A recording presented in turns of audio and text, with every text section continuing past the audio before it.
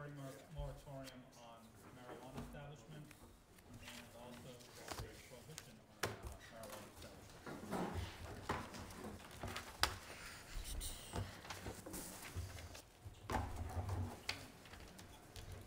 Julie, do we have anything new on this, Um, other than the uh, town counsel's letter? yeah, so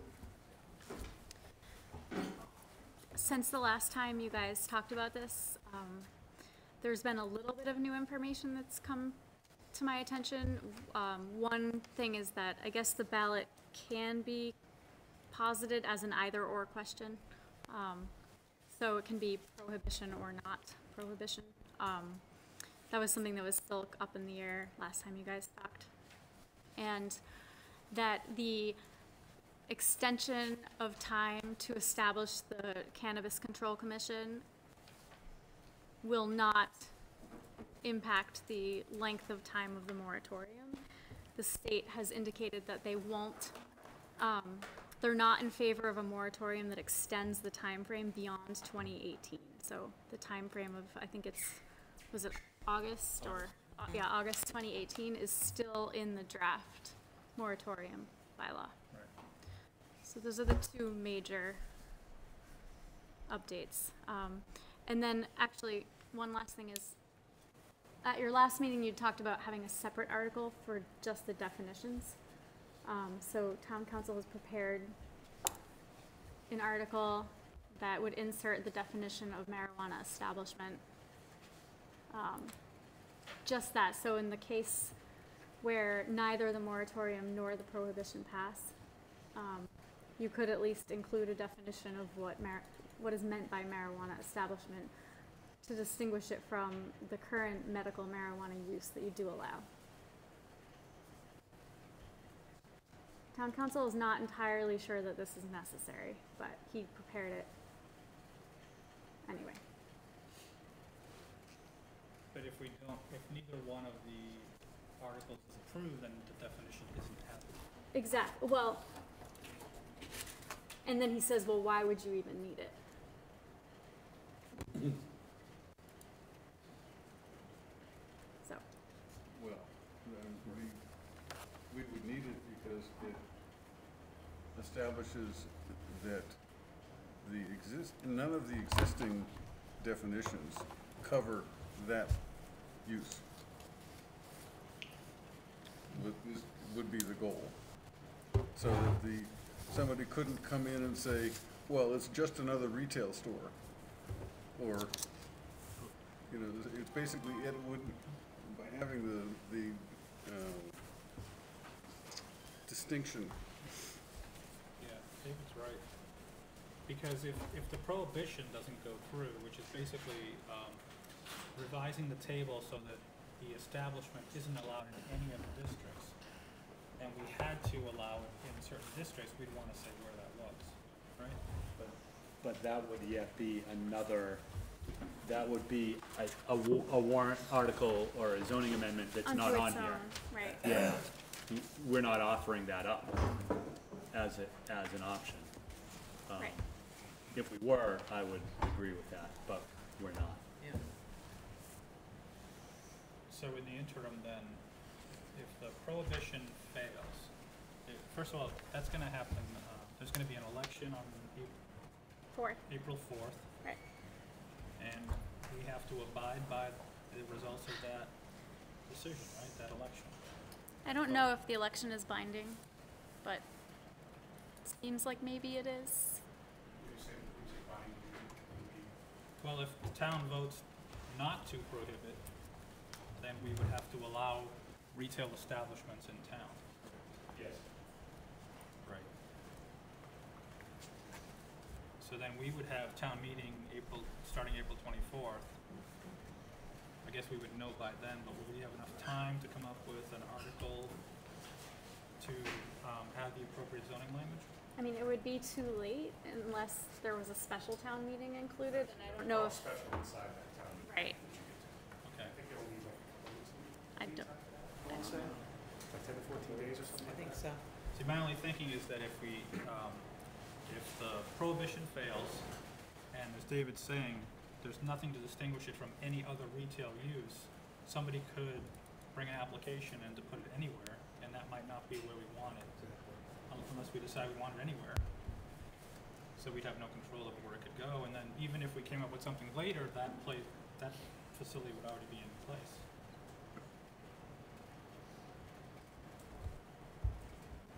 Does it make sense? A little Well- confusing? Of course, it's confusing. We're all confused ab- ab- about the whole thing. Well, this one more so than, a lot of, I don't even know what, we're- we're theorizing, we don't even know what the commission's gonna be. Once- Once it's actually established, how they're gonna handle a whole host of things.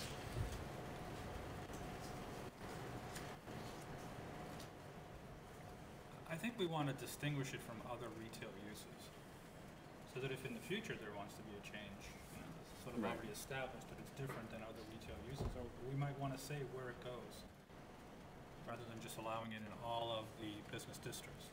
Yeah. That's, that's how I think about that. Well, that's why I, I suggested that we have the, the definition. The, The definition in and of itself does nothing though. true.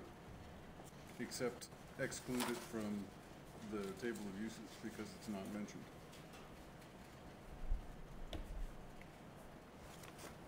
Does that fly? But it's not regulated either, so, it- Well. I mean, it's not, it's defined, but it's not in the table of uses.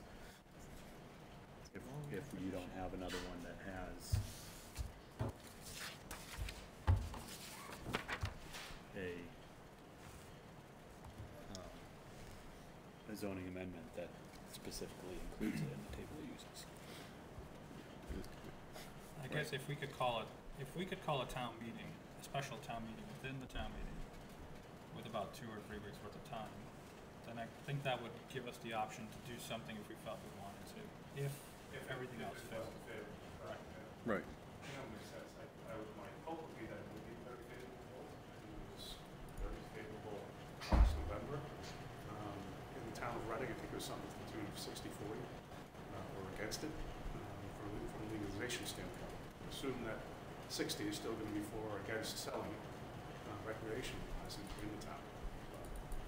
But election, election, elections turn up, uh, how we want There was sometimes. also eighty percent turnout in that election and probably less than twenty percent this coming, so we don't know.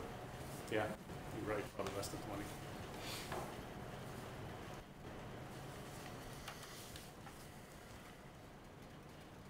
So that's titled moratorium, but this is actually just a definition. I think it's the just a definition. mistake, Okay, yeah. because the moratorium is the other language that we Right. Yeah, it's just the ma- definition.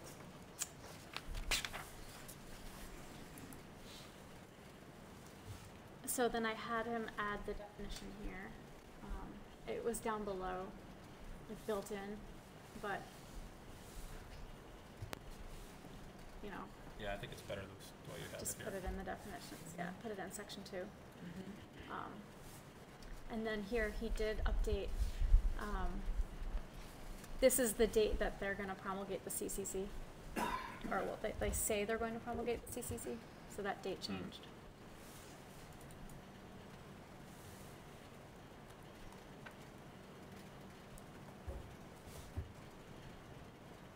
Um, I think that's, let me see. So that would give us six months approximately after they promulgate the CCC to the end of the moratorium, Right, March, it's, August. it would give you till August, And so town meeting would be in September again, subsequent, November. November, November, we'd be back into November town meeting. and the warrant generally hmm. closes the end of September, Okay, so that could work. So yeah, that's what we would that have to works. Well, yeah, it works, except that they need to be um, uh, established, and then they need to actually do something.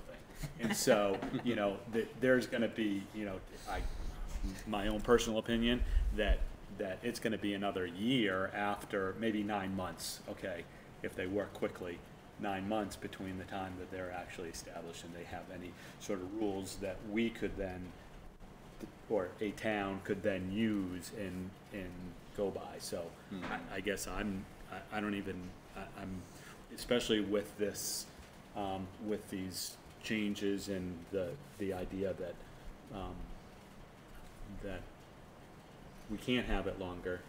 I, I'm not even, I think, personally, I think this is a, is a sort of a, is a, a worse, um, result because we think, we, we think we'll be okay.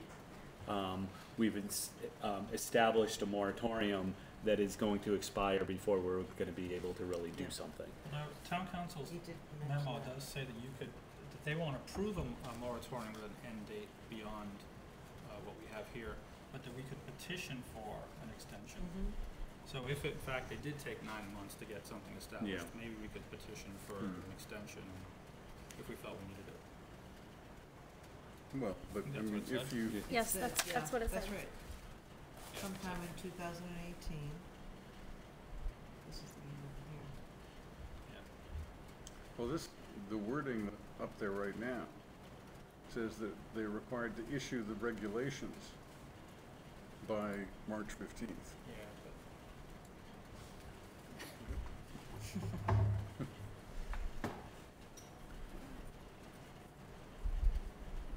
Yeah, issue what regulations of who the CCC is, or no, and how they'll operate, or they're required to issue regulations implementation, it says. yeah. regarding implementation. Print up a cannabis license like a liquor license or something, I mean, I don't know what, but that says that, that by the middle of March eight, of eighteen, then we'll, we will have something with which to react, or, you know, something to act with. Well, like I said. Yeah. it, uh, If we have to go for an extension, then that's what we'll do, Right, but we Right. can't plan beyond that. again, that's, that's provided that the prohibition doesn't Exactly. get approved. All right, so, but I guess I, the, the prevailing thought at the moment is that both of these are going on the, but we're The warrant. gonna, yeah, But only one of them goes to the election, To the the prohibition voters, goes to yeah. the voters. Yeah, that's my understanding. Right, yeah, only the pro- Yeah. Right. goes to Yep. the, to. Yep. Okay. The Attorney General has said, if the majority vote in favor of prohibition, that they, they want it. We were actually surprised that they, usually they're very coy about how they answer questions to that man and say, well, you know, we'll have to look at the time. Right. They were pretty straightforward on this one, said, yeah, we, we don't, want the vo- voters on, on prohibition. So, Do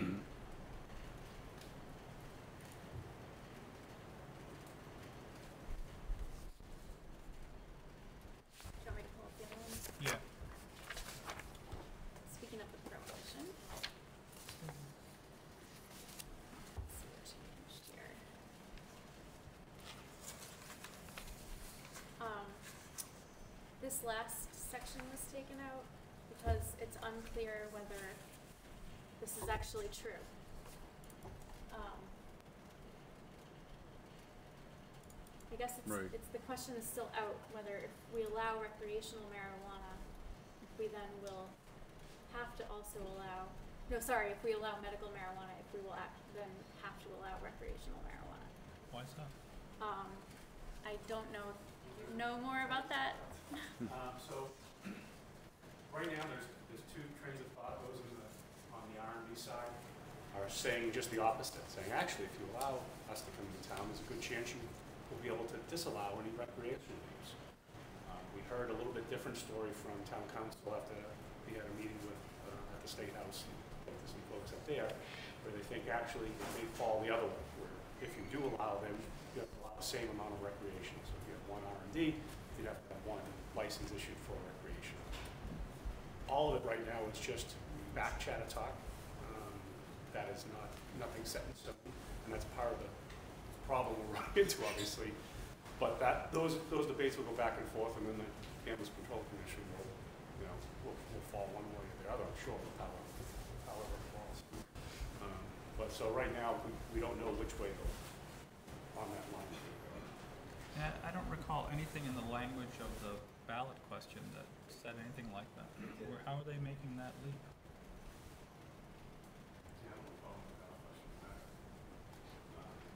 I don't know where, where it's coming out of, and even, you know, town counsel hasn't advised to us to say, you know, if you're, if you're thinking about registered medical marijuana dispensary because you think they'll exclude, will allow you to exclude it, don't be so sure, that could not be the case. So I don't know where it's coming from either, I know that's what we're being being advised by, by uh, Ray. Is there any sense of when we might have an answer to that? No? Unfortunately.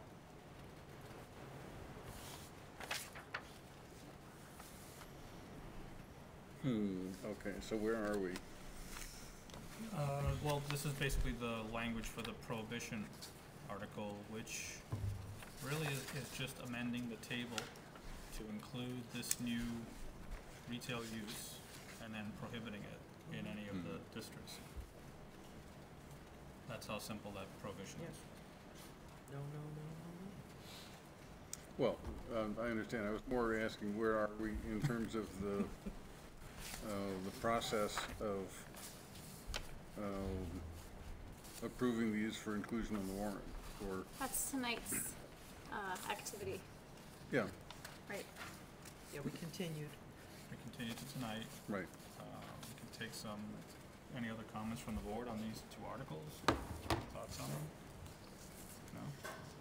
No? The, um, going into the, the definition, um, a marijuana cultivator, um, I, I'm gonna presume that town council has some, um, um, some thought that that doesn't include whatever the rules were, being able to grow ten plants in your backyard or whatever. I, I have no idea what the, the rules are, but there's some cultivation that you can do that you'd be able to do, or maybe you aren't able to do it right now. Um, This is more for like sales, If what you do at your house is s- you- yeah, I, n- I, am sure that's the case. Um, if I was, if I, I, I guess I would call that into question, that, you know, whether a, what's the definition of a cultivator? If I grow something at home, am I a cultivator, or are you, are you, um, disallowing that? Say business though. It's, it's a, it's carefully worded in both, uh, things, Yeah, because it's a cultivator subject to regulation under chapter ninety-four G. So if you're Which not- is, Which is, which excludes the personal growing, I believe. That must be the language that came out of the ballot.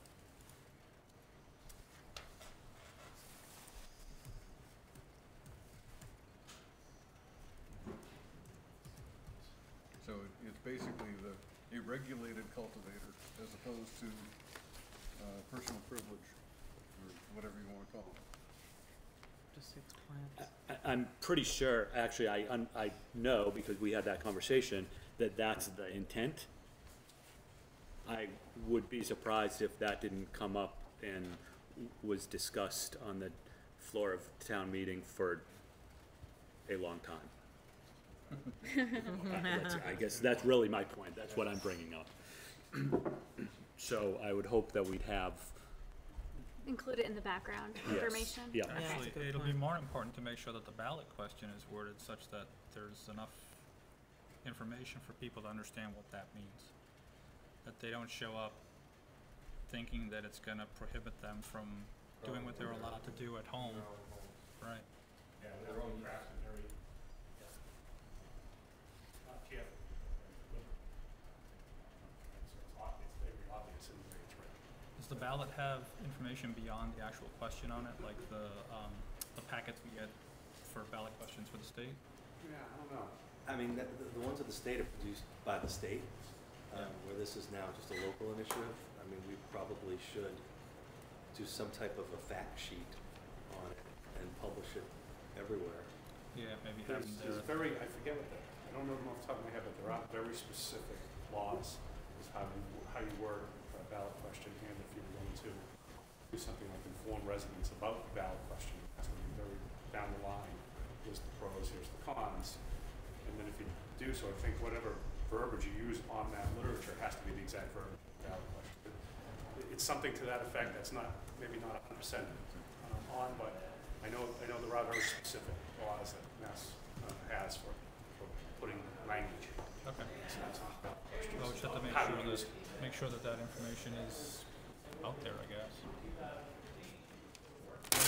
When does, a ballot question have to be ready? I don't know.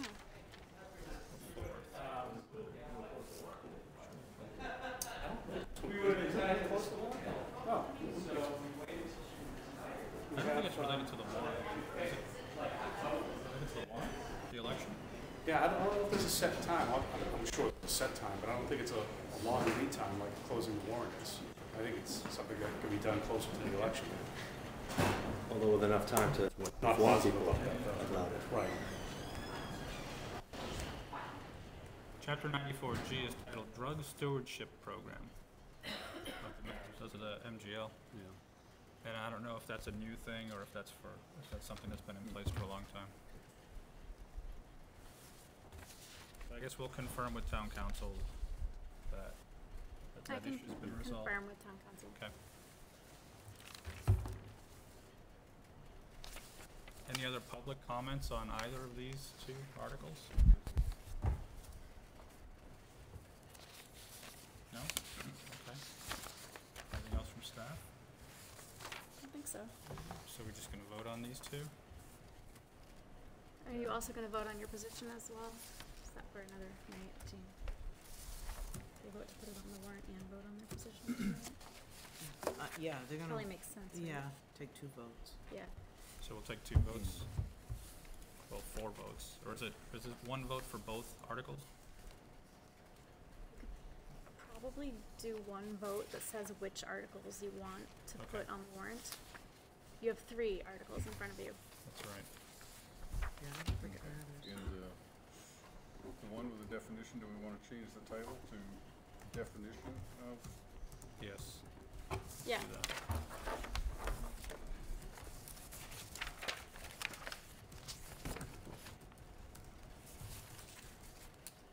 Okay, so it's gonna be six motions. I guess, uh, before we start, I'm still, I'm still unclear on why we would include the definition if we're not including any other sort of, um, regulatory action with the definition. I, I, I, I understand and I'm, I'm on board that, you know, the election, prohibition, moratorium, those all get, but if all of that, no, no, no, um, and, um, or we think that that's where it's headed, I, what I thought I heard us say was that we would try and establish a, a meeting within the meeting that creates a, um, how we would regulate if these two, um, these two aren't voted upon. I just don't see, I, I don't see what, why we would have just the definition by itself. So if everything, if all else fails, what we'd end up with is an article that looks like the prohibition article, except there'd be some yeses in here. Definition would be the first portion of it, and then the table edits would be next. Right. So that we would get the definition in with whatever that special town meeting article was. right. So then we don't need the third. Like you're saying, we don't need that definition unless you can think of a reason why, um, having it would help. No, I think you have a alternative solution that's probably better. And town counsel had the same question. Why would we need Oh. this? So, Yeah. Yeah, he was just doing it because it was something that Because came out of your last meeting. yeah. Mhm. So, Um, okay, I'm lost. Sure. So, we're gonna put forth two articles. One is a moratorium and one is a full prohibition. The prohibition issue will also go on the ballot, Right, and we'll know before town meeting what the results of the election are. right. If the, uh, if it's a positive result that, that they want the prohibition, then at town meeting, we would likely, We- no, we would still vote on both of these, Well, or we We, table one and we'd do the likely have the prohibition listed first. That would get voted, and if that gets voted, then the other one gets tabled or withdrawn or whatever the case, whatever You might wanna procedure. have both to have added security, Right, in case the Attorney General doesn't like the prohibition. And then you could then have the Okay. moratorium in Yeah, place, as so a it's like a backup. safety net. sure. Um, So, then the other scenario is that the town votes not to prohibit, in which case we would revise this article here to include that retail use somewhere. Since either of these articles, any of these articles plus a revised one of these would have the definition with it as part of the article. We don't need to just, just vote on an article definition, a definition. Hmm. That's what John's point was. That no matter what we put forth, the definition would be included in one of those Yeah. articles, why have the It's extra double article? counting it. And if neither of them pass, If then neither, you have need for definition. well, if the, if the Then town the votes for the prohibition and town meeting doesn't approve the article or the moratorium, That's what he was talking about. I don't think, if if the town votes for the, in favor of the prohibition, I don't think town meeting has any say in, in, in doing, in voting against it. But it could happen in theory, Yeah, and then it would just not be included in the zoning bylaw at all, Yeah. right? Well, I'm just questioning why would it need to go before town meeting if it's been voted on by the voters? So it can go into the zoning bylaw. so, yeah, So the bylaw itself, not the fact that there's a prohibition, but how the prohibition is handled. Exactly. Right. right, I right. get there. It's the zoning language, that's all this is, really. It's a two-thirds vote Does at still, town meeting. does it still not make sense? well, it, ma- yeah, It's okay. yeah, it makes sense, but the, um, The ban. And town meeting doesn't do the two-thirds on the zoning, then where, where are you? Nothing in the zoning bylaw. So, I guess You town don't have a council zoning bylaw, will have to tell us what to do.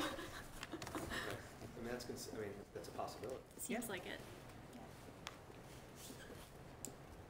Well, It's prohibited, but not through zoning. Right.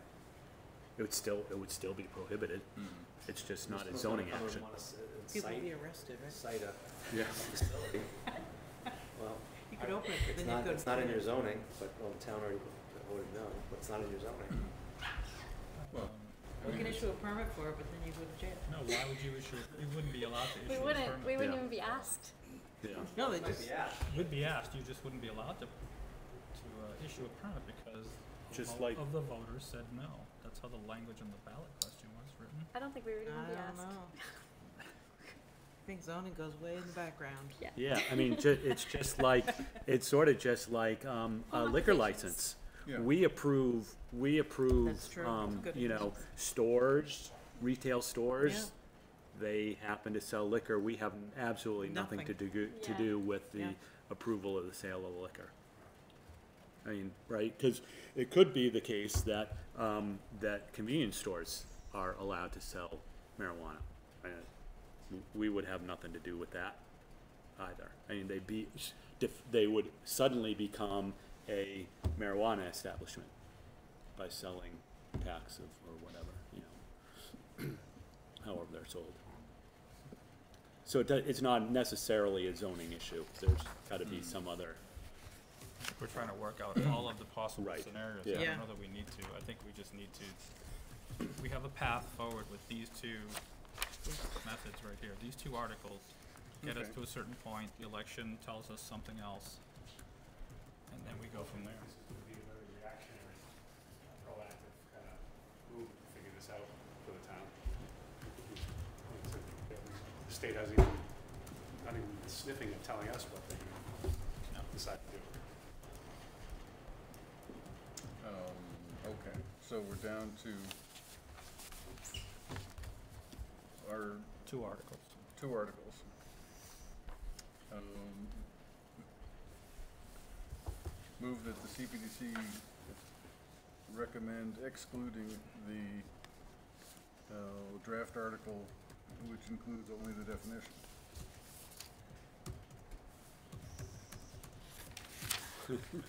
Yeah, I know, that's the positive. I get it. Uh, is there a second? All in favor? Okay, Okay, so that's that struck one's down. gone. Down. Um, okay, now, move that the CPDC, um, approve the draft article, uh, for a moratorium on marijuana establishments for inclusion on Temporary. the, um. Temporary moratorium. in- Inclusion on the town meeting warrant. Is there a second? Second. All in favor? I mean, it's cool. Okay. Move that the CPDC approve the inclusion of the uh, draft article for prohibition of marijuana establishments on the town meeting warrant. Second. All in favor? Okay. Okay. Now, is there, do we need something to, for the general election? No, that's not ours. That's not ours? Okay. That's Board of Select. But you could vote your position. We can vote a position on, Yeah. on these articles. Um, To endorse, I guess, right? Right. Support. In support of, Yeah. okay. Move that the CPDC uh, recommend support for the um, article on the temporary marijuana for marijuana establishments. Temporary moratorium? Yes. Is there a second? All in favor?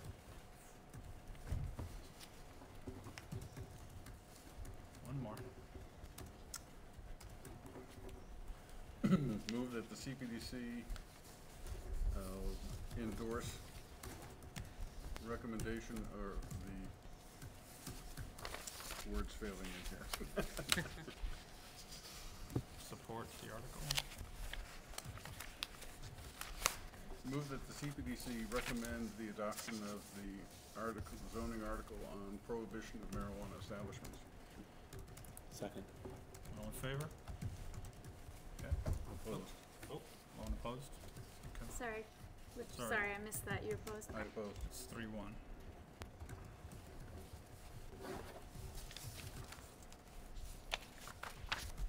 Okay, I guess that's, that's that piece. See how that all unfolds.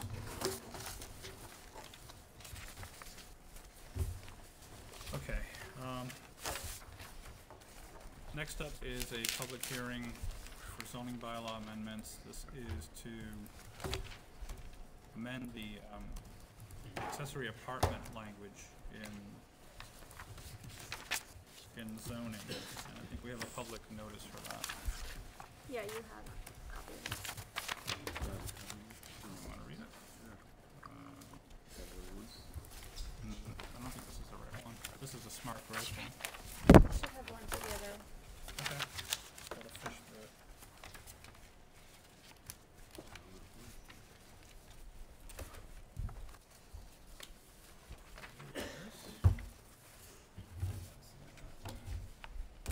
This is smart growth.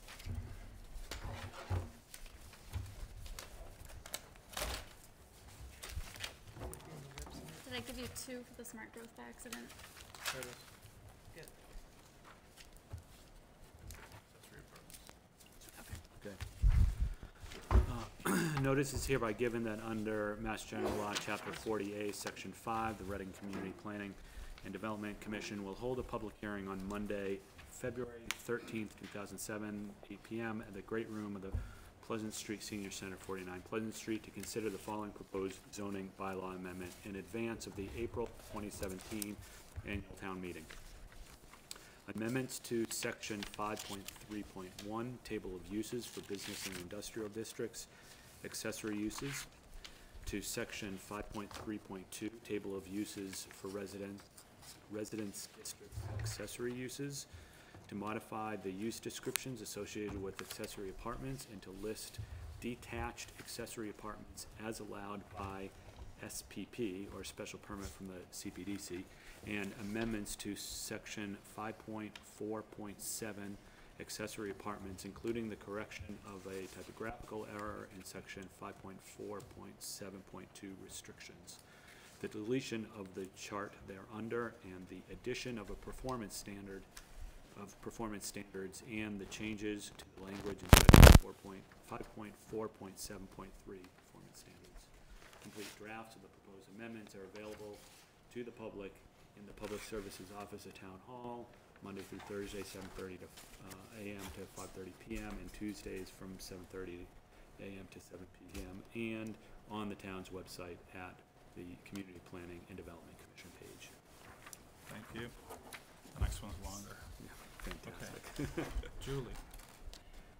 Yep, oh, Alright, so, um, I've made a few changes since the last time we talked about this, um, because as I was looking through the zoning bylaw for another matter, I realized that I had missed a couple of the definitions that are in there now, um, that sort of explain about different types of detached accessory structures, um, being involved in conversion for accessory apartments. So if you look at where my cursor is, these last two categories were already in the bylaw, and I put them into your draft language to make sure that this draft amendment is inclusive of everything related to this topic. Um, and I know it's a little crazy, but there's four different kinds of types of things that we envision um, people might want to do to create an accessory apartment. Um, so the first would be to um, put an accessory apartment into an existing single-family dwelling with no addition to gross floor area, um, which currently we allow by right um, in these residential districts. The second one would be um, a detached accessory apartment, which I put in parens, not in an existing carriage house, stable, or barn to distinguish it from the one below it, which would be preservation of a carriage house, stable, or barn for use as a detached accessory apartment. Um, the first one, that's not in an existing carriage house, stable, or barn, which would presumably be in a different type of accessory, detached accessory structure.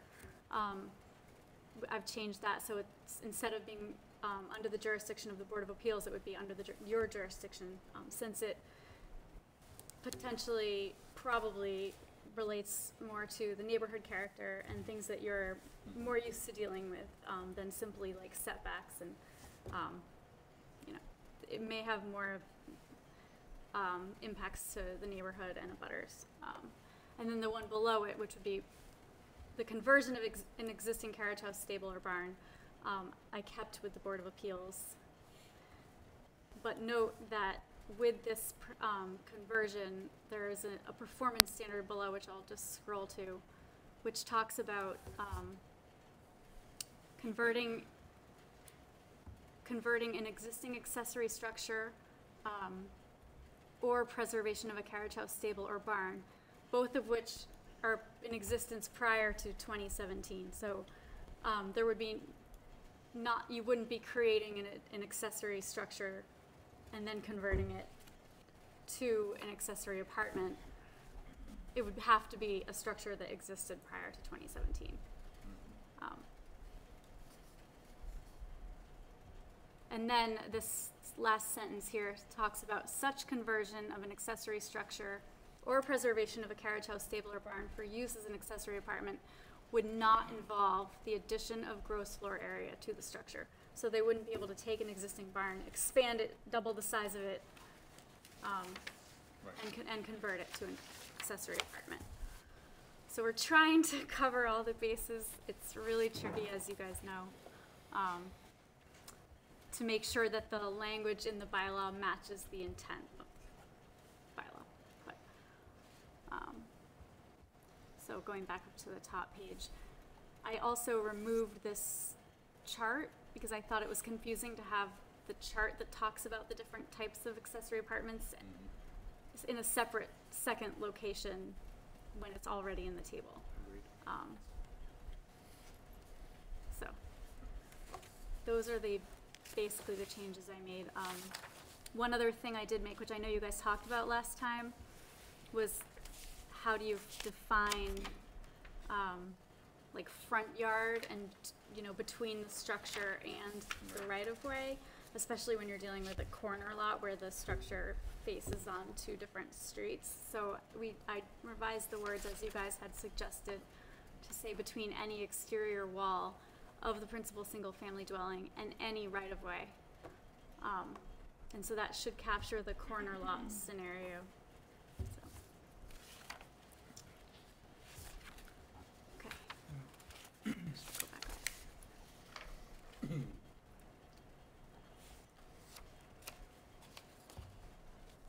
And if we look at, um, paragraph K, five, four, seven, three, K, Sure. so that's the language that basically says, um, that this apartment, this accessory apartment may not be located between any exterior wall and the print, and the right of way. That's the item that will prohibit the issue that came out that sort of spurned, spurred all this discussion, right? Um, I did do some graphics that I sent to Julie. I- I have them. those. It's similar to what we have in there now, um, but I added, added some language to show you what the, what the wording says right now. So here's a simple, a simple condition where you have a, a, a property fronting a right of way. There's the exterior wall, basically the front wall. And this hash mark zone is where the structure could not be.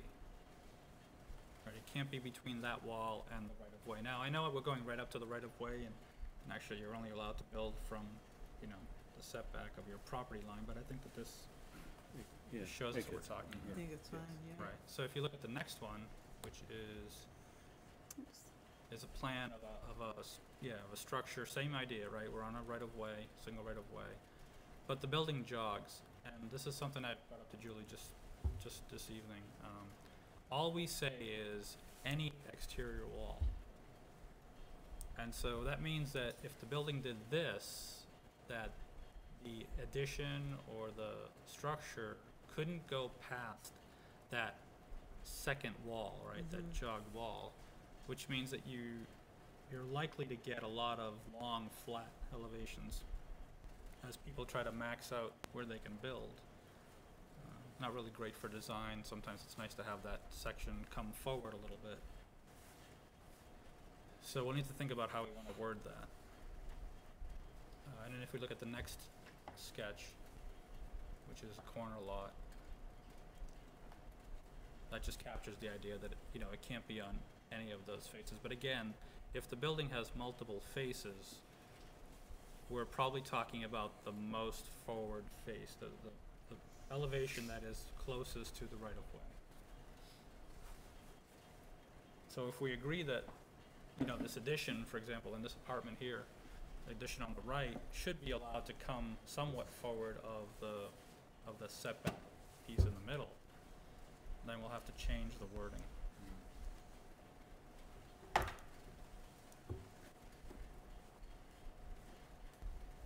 Without it getting too confusing.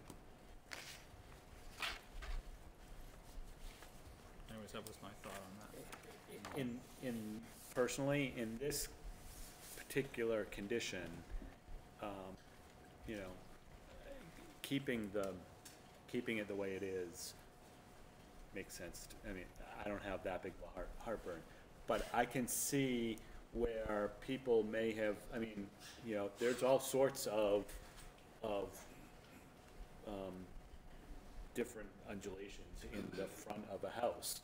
Um, and so they may have one that's particularly far back.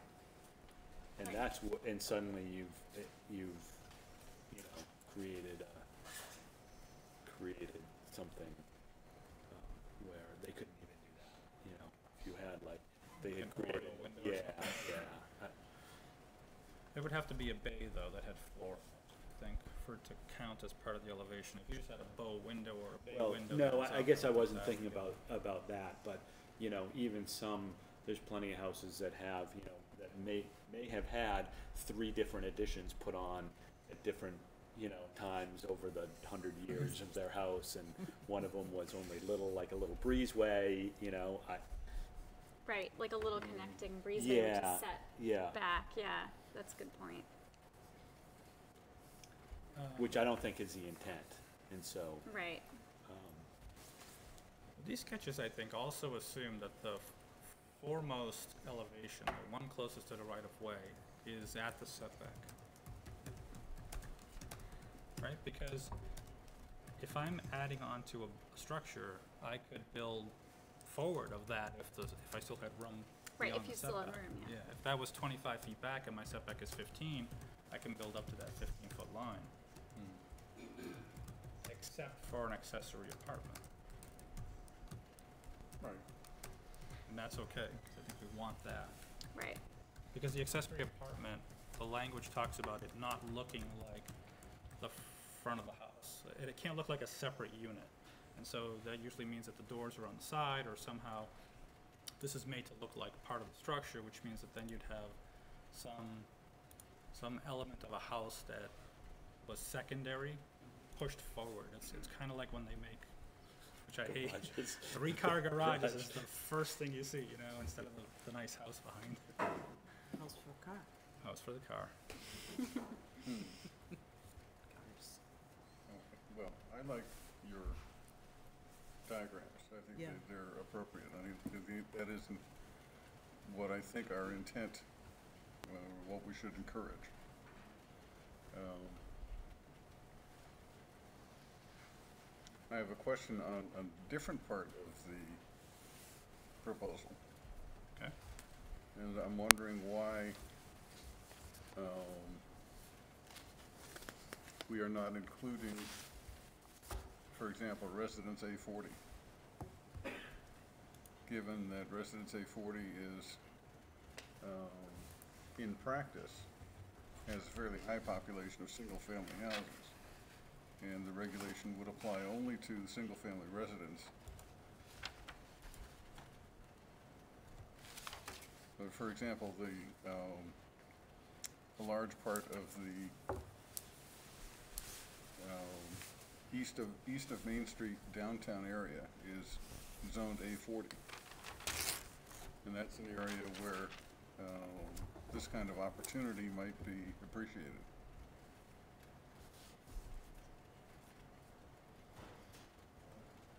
What's the, uh, so average lot on, on A forty? Hmm? What's the average lot size on A forty? no idea. Um, I think there's a lot of s- pretty small Which is ones. a lot smaller than But I fifteen. assume that they were trying to keep it away from the smaller lots. But we do allow like multifamily residential development in A forty, so it, you know. We allow varying sizes of lots depending on what, like if someone wants to do a multifamily building in an A forty, they have to have like a certain amount of lot area. you know, so. Could you have a two-family? Could you add on to a single-family? Two maybe a families are allowed by right in A forty. yeah, So you wouldn't need the accessory apartment necessarily. well, I mean, you'd have other ways of, of adding a, a dwelling unit, yes, but it's, if you have an existing, existing single-family, um, dwelling, which is what these apply to.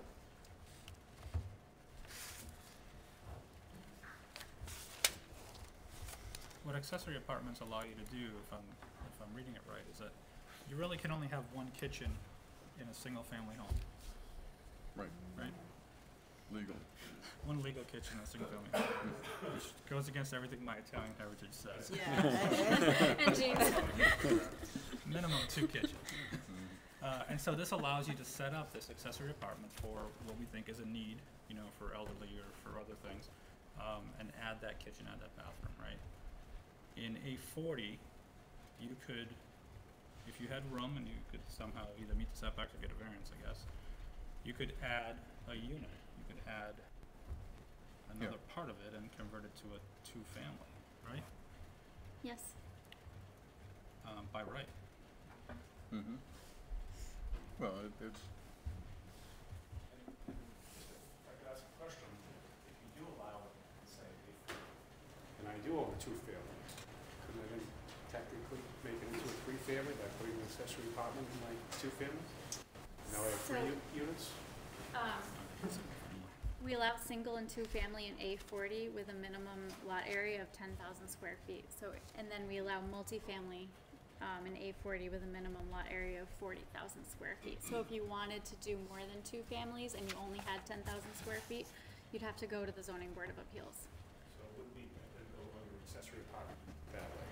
Um, I mean, we don't currently allow accessory apartment in A forty, so But I'm saying if, If you- if, if you actually did.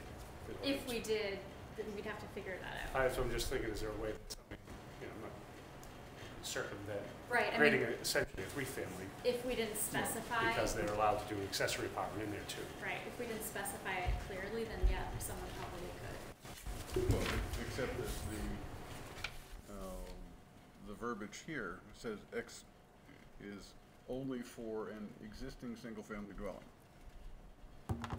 So if you have an existing two-family, does not apply. Right, That's correct. True. yeah, Yeah. this is meant to be, That's a good point. it's all along with Right. singles. Right, so that, that's what I was thinking too. This is strictly, this really is about single-family homes. And we, I think we all understand what this does for the S fifteen, twenty, and forty. It's the A forty that, that David's introduced here that we should think about. Right. Single-family home in A forty is probably on a small lot. Yeah.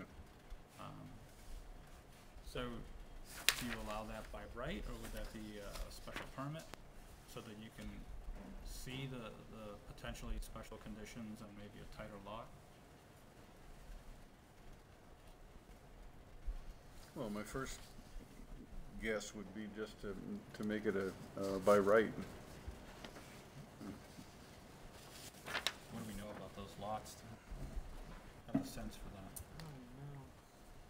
So Well, we've allow got- accessory apartments by right in In A forty? In, uh, A forty, I yeah. feel like that's a Well, we're, s- potential we're, uh, worms. we're sitting in an A forty. I know, we are.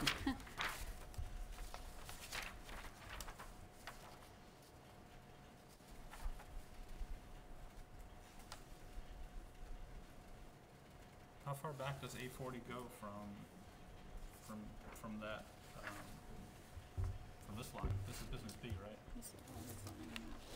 Yeah, Um, let's go for it. Well, I I think it goes back to, to the, the region of like John Street, but I'm not positive.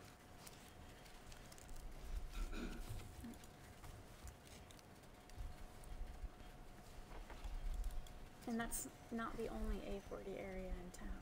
No, there's some on Main There's Street. one over by the depot too, I think, yeah, right here.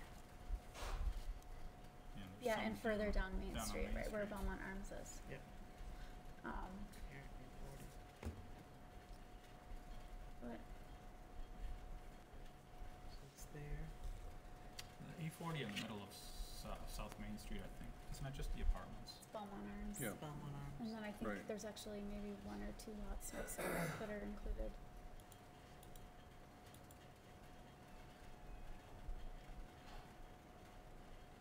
Yeah, so there's a couple. Belmont Arms plus. Okay, and Which, then E which, forty. which this wouldn't apply to anyways. I mean, No. there's no Right. single family. So it's really, it really is, j- it's this, it's, it's this neighborhood that we're, Which we think is we are. actually over here, right? Beyond Elliott Street. what street Or is is that? this- Uh, that's Here it is, here, Nick. Village. Oh. What's, what's that street? Mm, this one? I guess that is Elliott Street right there, cause it, Yeah, that spurs yeah. park. Mm-hmm. I mean, at first glance, it looks like it would work for any, Yeah. anything in here that was a single family. Some of these are Yeah. multifamily. Mm-hmm. It seems appropriate. Yeah, So would we then just follow, follow right down? Yes for the first one and SPP and SPA and SPA? Would the A forty column Yeah, I just be would, the same? same.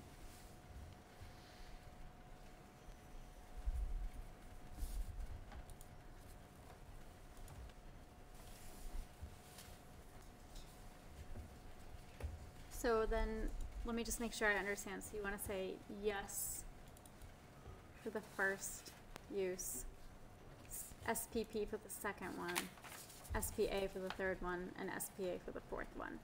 Right. Exactly the same as it is, okay.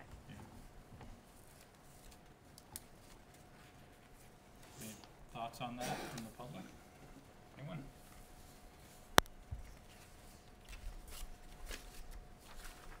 Again, the language is pretty exclusive to single-family dwellings.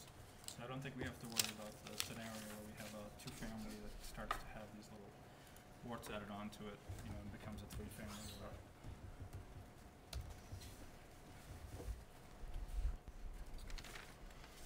I have, an, Thoughts? I have, I have a thought on a different topic, Oh, but okay. I'm, I'm good on that. Is everyone in favor of that kind of a change? I, I think, yeah, yeah. What's your thoughts? Um, so I'm going to item K in the performance standards. Um, just this, this one, the last sentence of the first paragraph, um, where such conversion of, um, of an accessory structure or preservation of a carriage house, stable or barn for use as an accessory apartment within this area may not involve the addition of gross floor area to the structure. I, I- in principle, I agree with that. Um, I guess I'm just wondering out loud is how realistic i- is it to try and, um, convert a carriage house, stable or barn without adding some sort of, um, uh, of gross floor area? Just even if it's like a, Right, I should just clarify, I'm sure you Sure. picked up on this, but this little piece right here within this area is meant to mean between the exterior wall of the principal single-family dwelling and any right-of-way. So this would just be in, for those, those types of accessory structures that are in that specific area, so that they don't add on to them and make them massive in the front yard. oh, So So the like- hash mark zone, the zone that we're saying you are not allowed to build Gotcha. new one of these in. This allows someone who has a structure that's already in that area to use that. I guess they could build off the back potentially. You know, if Well- the back Ye- of it, yep.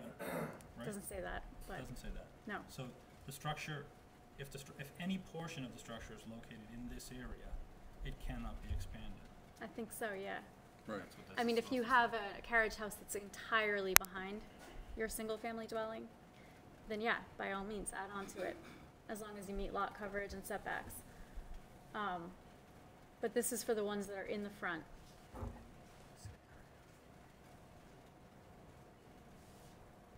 Then I, I think that needs to be reworded. So that it's clear. Mm, Oh, no, You don't think so? because it's basically, it's, uh, it's following the unless. It says that you can't do it unless it's already there. But if it is already there, then you can't add on. It, what if we took the within this area and moved it to such conversion of an accessory structure or preservation of a carriage house or barn within this area? No, it's- I, I just don't know within this air, what this area is referring to. I mean, Yeah. you can explain it. Right. Because you know what you were thinking when you wrote it. Yeah. But when I read this, I, I don't know, um, I, I could define this area as something completely different. Well, I could say the same as what I said above, which is within said area, if that makes it clearer, I don't know. But you haven't, um,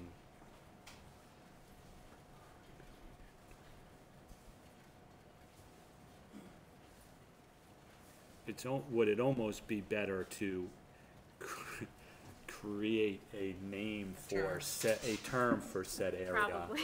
And then, or yeah, setback um. Yeah, No build area. Built? Well, What if it said, um, a structure within, the a structure located within this area? How a no build area? Shall We have to say that somewhere I- before we get there, right? We have to say that up. A detached accessory apartment may not be located in the no-build area, defined as the area between any exterior wall. the principal dwelling and any right of way. Period. Well, unless it is created, right? You're adding it to the first part of this paragraph. Right, right up front. Is this PDF or is this Word? It's a PDF. I have the Word version, if you want it. Or just add a, well, you don't have. I can uh, just make a note of it. I'd rather just No, make a have note. Pro, you can't just add the text. I'll just make a note of it right here. Old school. Sometimes I like to be old school, right? Fine, I didn't know if That's anyone good. else wanted to see Makes the one. rest of I us don't feel think better. anyone's- I don't think anyone's here for that. yeah. Okay, Um, So, a detached accessory apartment may not be located between, may not be located in the no build. Do you want to say no build, or is there a less, like a more benign way of putting it? DMZ. what? Well, okay, I mean, we're on the floor wordsmithing. Um, if you start with the, with where it says the, the comma unless, and, and replace it with, for example, um, except conversion of an existing structure.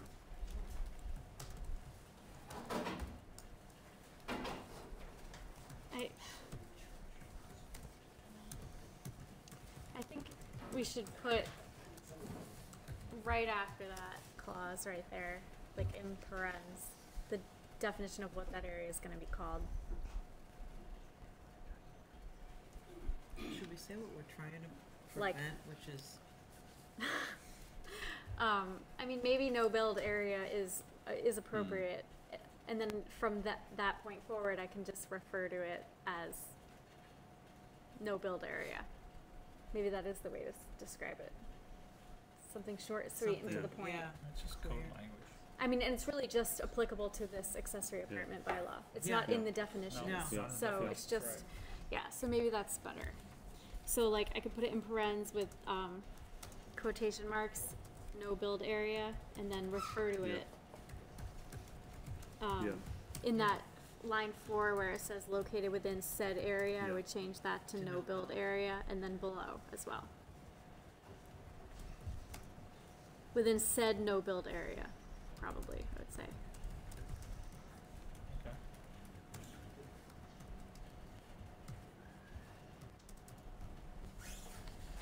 Yep.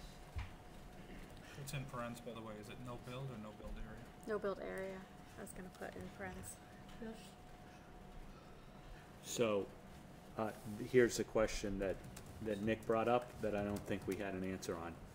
Is it, um, uh, addition of, um, to the structure within the no-build area? Or if the structure is within the no-build area, um, addition to the structure, If, period?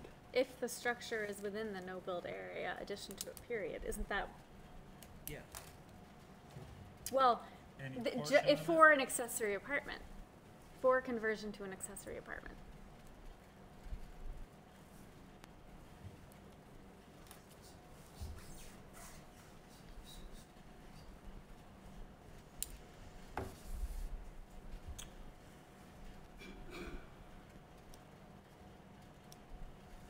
I guess, here's my thought is, if there, and I, this, this case is so rare. I'm It'll sure- happen, it'll happen. But if there, if there is an outbuilding, right, and someone wants to convert it, and it is, in the front of it's in that no-build area, but you wanna put an addition on the back, w- w- what do we care? Right, It's, it's, what we don't want, yeah, exactly that. What we don't want is, is the expansion of that building in that, that front area. so, in this, I- That's, but I guess, that I'm speaking like for in this myself. scenario where you have the carriage house or whatever Yeah. that's right next to the principal single family house and it meets setbacks, the carriage house, Mhm. then like how do we limit them from going up and back and making it look like you have two homes side by side I mean, there is the limitations on gross floor area, but we all know in practice that Yep. they could Yep. both look massive.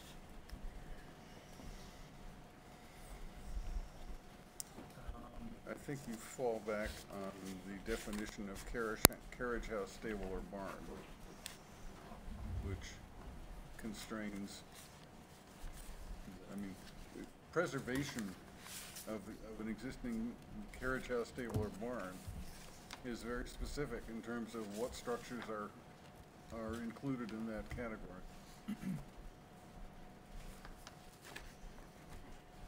Well, actually, I think the safe, the real safety net is, should they wanna do this, is detached accessory structure, they have to come to you guys. Actually, if they're putting it in a preservation, it goes to SPA, goes to Board of Appeals. But if they, let's see, Well, point, point being, they have to come to a board.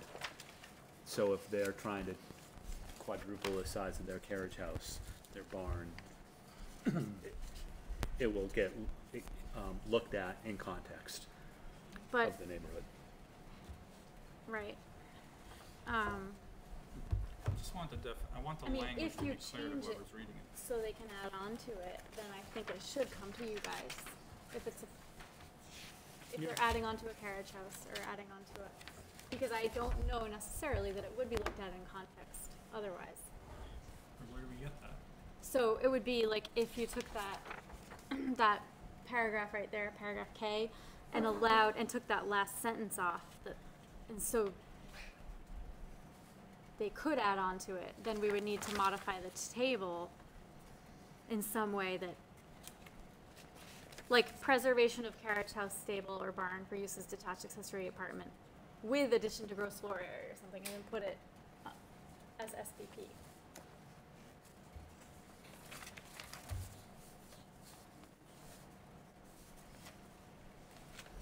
Like you could, you could include it under in detached accessory apartment and then just say,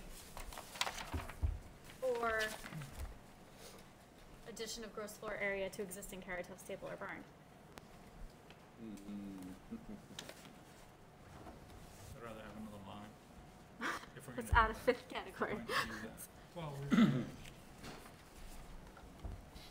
we're trying to be flexible to some extent, but we're trying to Yeah. prevent the issue that Right. brought this Right. before us.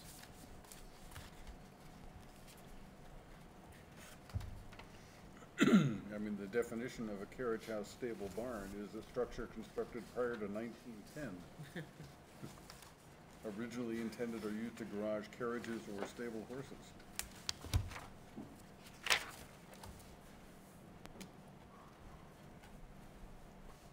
That's carriage house, stable, or barn? That's the def, it's, it's a single thing. It's a carriage house dash stable dash barn Okay, it's all three. is the single definition. I, think the options in the table are all good. All four of these options, I think cover everything we want. And the only thing we're struggling with is making sure that the, that K, paragraph K, describes what you can or can't do with that structure. And I like that we added the no-build area, but right Yeah. now, it's unclear whether the entire, whether if a portion of the structure is in the no, no-build area, that the structure cannot be expanded at all, or whether it just can't be expanded, expanded into the no-build area. I mean, maybe, I, I really think that it's context dependent completely. Mm-hmm. Because you could end up with a scenario in which you don't notice it at all, or you could end up with it looking like two big structures side by side. Right. So,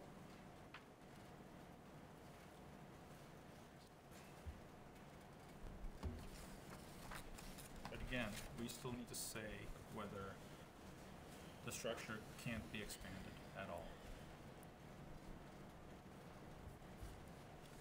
So you're at such conversion of an accessory structure, preservation of a carriage Yep. house, stable, or barn, for use as a, within this no build area. I May think. I think that it's, j- I think it's just within that no, no build area that it can't be ex- expanded, because if it's, if it's in the rest of the site, it will go through, um, it'll need a special permit, in which case it would be reviewed anyway. So All we're talking about is whether this would restrict, even from the special permit perspective, you can't build in that, you can't, um, uh, build in that no-build area if it's a conversion. Wait, say Which I that doubt thing there about, are. John, say, say that again, sorry. If you, if we restrict it, instead of, if we change that sentence so that we restrict it so that you can't expand the carriage barn or whatever, um, within the no-build area, Only within the no build only area. within the no-build Yeah. area, that, that takes care of Right. that. If it's extended in the rest of this, the parcel, then it comes through a site, um, uh, for a special permit anyways. For, through what mechanism? Yeah, that's, Chart. that's. the- Preservation of a carriage, No, it doesn't say anything about adding on right there.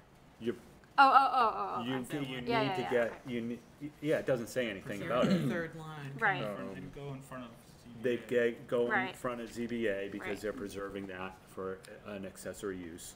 It doesn't say anything about adding on or not, Right. but Yes, it does. through the, through the, through the, um, use, the change use, then it needs a special So permit. should we strike that sentence then? That second sentence, such conversion, Let me point Yeah. you to paragraph J. Special permit Yeah. for accessory carriage. Well, that allows an increase. May not 10%. increase more than ten percent. Right. So that takes care Yeah. of And there you The- go. the Yes. expansion. So all we have to say here is, CJ. Well, or just take it out? no, we just need to, we need to leave this because it needs to say It that says- you can't expand it here. This is a Yes. case where we Yeah, don't yeah. want to. within the no-build area. Right. No, No build is no build. Okay, so, so this takes care of Yep. them then Yes. expanding it. Yep. Well, but the question is, will the building inspector understand the nuance, right? So, Then you have to say no portion of such conversion. so do we wanna say they can only expand, or they can't expand in the no-build area, but they could in the back?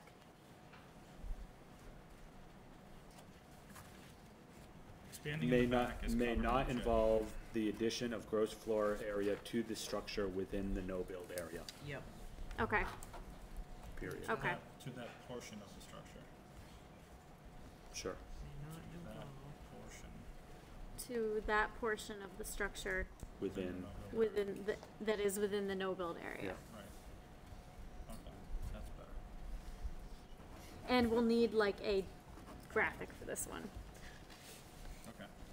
I really think, cause I'm like thinking thirty years from now and I'm tired and no one's around to remember. Hmm.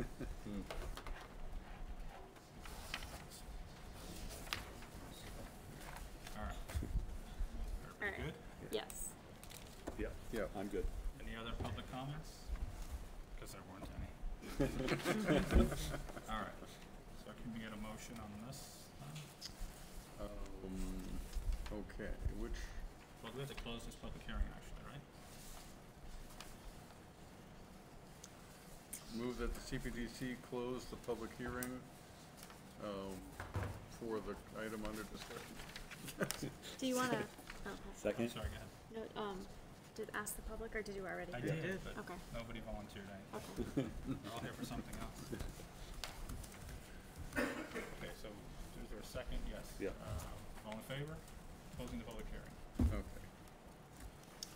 Uh, move that the CPDC recommend the zoning amendment, um, for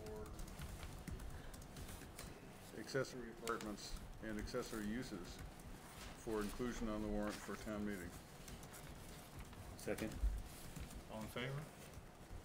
Okay, four zero zero. Do you wanna take your position? Sure. Need a motion to Uh, endorse move that this. the CPC recommend the adoption of amendments to the zoning bylaw, uh, regulation of accessory apartments. Is there a second? All in favor? Great. Um, so it's as amended, yeah. As amended, yeah.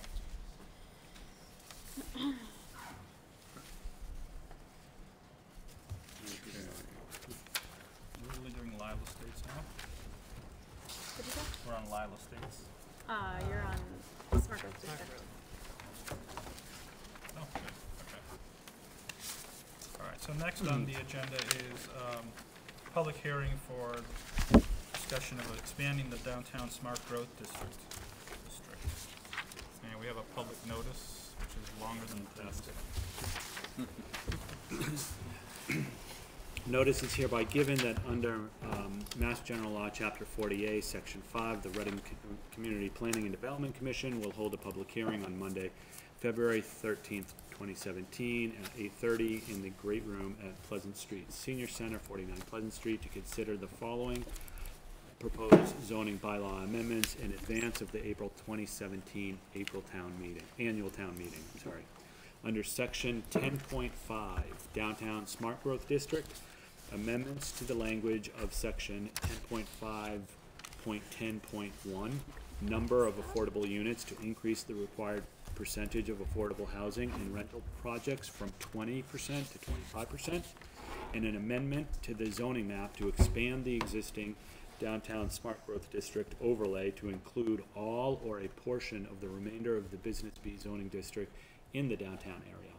The portion of the downtown Business B zoning district under consideration for inclusion in the downtown smart growth district overlay is bounded by the railroad tracks to the south, by Haven Street and the existing um, downtown smart growth district boundary to the north and west, and includes parcels on both sides of Main Street and Ash Street, parcels on Washington, Green, and Gould Streets west of Main Street, parcels on portions of parcels or portions of parcels on Washington, Green, and Haven Streets, and on Chapin Ave, east of Main Street. A portion of the parcel on eight Ordway Terrace, and the Rite Aid parcel on Bolton Street.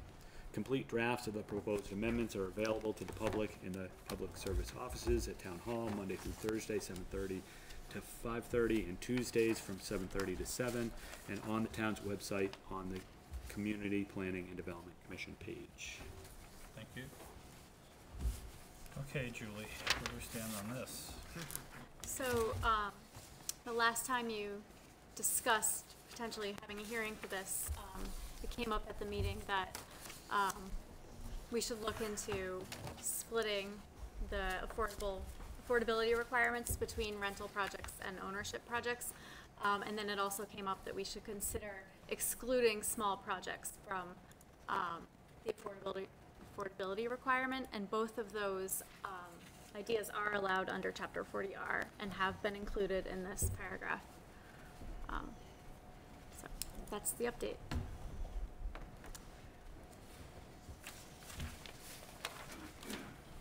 Nick, That the public, that you've received the letters? Yeah, I was going to. Um, we did get a lot of letters, uh, email and support, both from, uh, property owners and from the chamber. Um, quite a few actually, which is good. Good to see some engagement there. Um, I know early on, when we first started talking about this, we, we felt that there was a need to, um, to start splitting the district up into sub-districts to address some of the unique characteristics of all of the streets that happen in there. Not everything is the same. Um, but there seems to be a push to, to get this through so that we can start to see some, some activity and that we can add design guidelines for specific areas as we go forward. So with that in mind, I don't know, does the board have any, any comments? Do we wanna take public comments right away?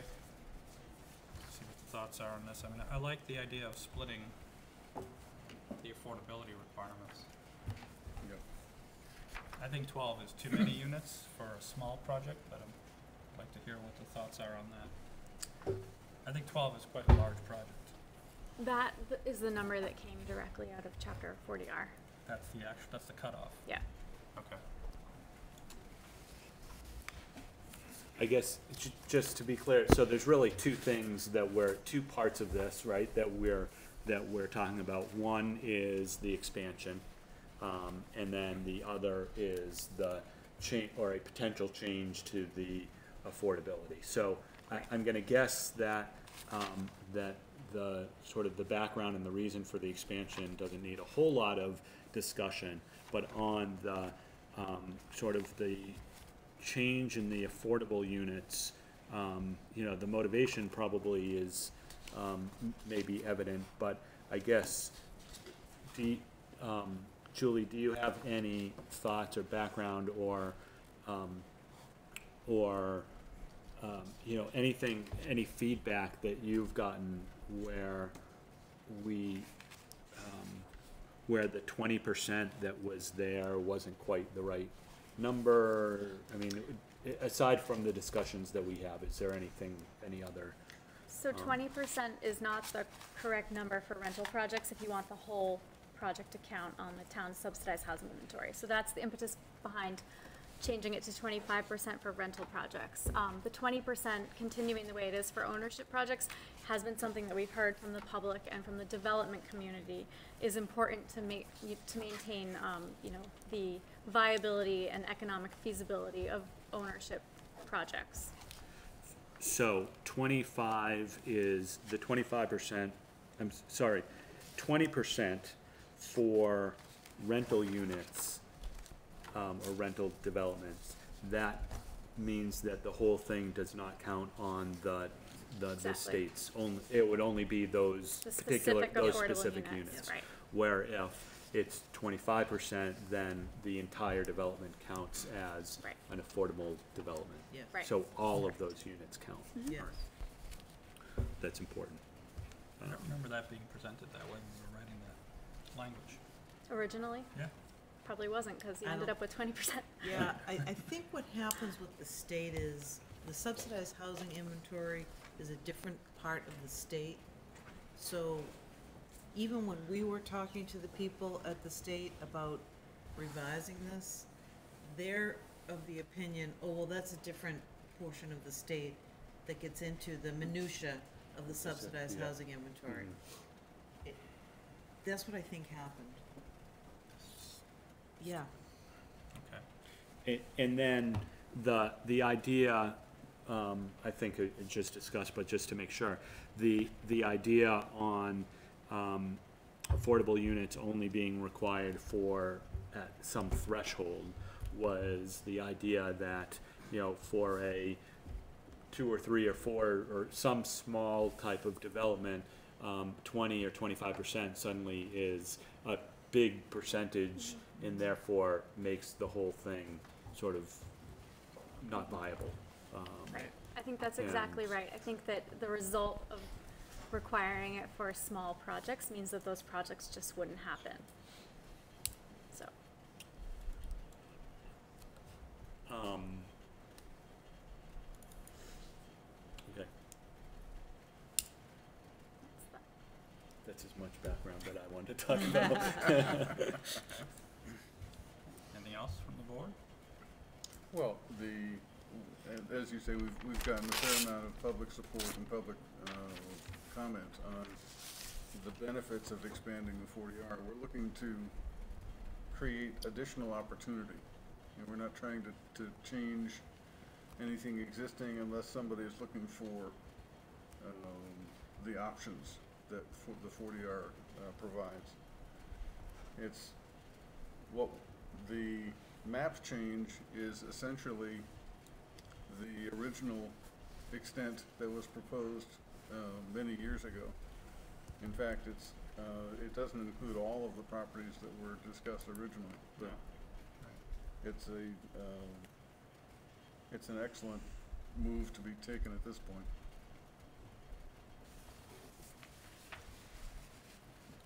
So if you look at this map, the, uh, the dark red boundary and everything to the top left, that's the current smart growth district. The large, the dark blue boundary, which is the entire green pretty much, is the, uh, business B and that's what we're looking to expand into for the most part. Yeah, so the blue outline is the existing Business B district. Um, the green underlay, go, um, the green underlay that's outside of the red existing downtown smart growth district are the properties that we notified because they're either entirely within the Business B district or they're partially within it. Um, so that's why those, there's some green that bleeds out, because Business B actually cuts through some parcels. And the intent is to match the Business B district. Yeah. Yep. Okay. Why don't we just open it up for public comment? Um, please make sure you've signed in so we have your name for the record and state your name and address as well. Thank you. Wow. Nothing, huh? Okay. Any developers or property owners here that are interested in this? I mean, I'm really interested in hearing this twenty percent, twenty-five percent argument. Um, because I'll always hear a developer say, oh no, this is unfeasible, and I'm gonna challenge you all to actually be more creative and show me why it's not, because I think it can be. My name is Jim Freeman, we own the property at five oh five Main. Uh, I support the change, both, uh, the map change, I guess we were in the original area, expanded area seems like a good idea. Uh, we're doing a sixteen unit forty B project in Plymouth right now. It's an older permit, so twenty-five percent is required. And I'll tell you, the best case scenario is the cost to build the units is about break even with what we have to sell them at it's looking more like they're gonna be a net loss, so, uh, that's why it's especially important, I think.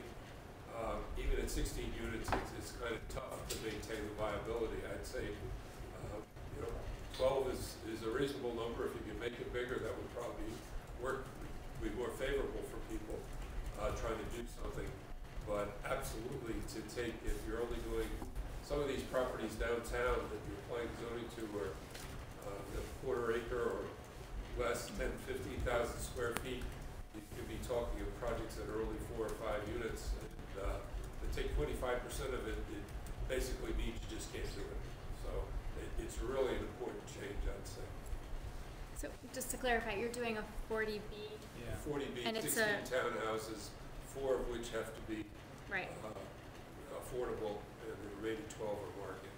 okay, And basically, we end up with sort of an eight-unit project, because, uh, four of the markets sort of off, are almost offset by the, uh, the four affordables. And it, it, it still works, but it's, uh, you have to be tight with the numbers to make it. Yeah, but the difference here now is that you're allowed this commercial space, and the commercial space should help offset some of that. You still have to build the unit. You do. You're you trying to have the unit on a second floor. But the commercial space is not subsidized, and that's subject to retail, re- to, uh, market rent. I, I think, looking at the downtown for the most part, your first floor spaces are, are pretty well occupied right now. It's trying to do something with space above that that becomes where you, you're trying to repopulate downtown and bring people in and, activate the area. So you've got the first floor is, I think, kind of a given. People bought their properties based on the economics of that already. Now you're trying to create potential to do something more. And that requires you, you, you need to make it economically viable. So I think to try and stimulate some activity on the upper floor, second or third floor, uh, you really do need this kind of thing. My guess is looking at, I mean, there's always the case if you put multiple properties together, but that gets difficult with different ownerships, so more often than not, you may be looking at more smaller individual projects that are looking at a pretty modest number of units. And I think, uh, to have relief for the, those smaller projects is gonna be very helpful.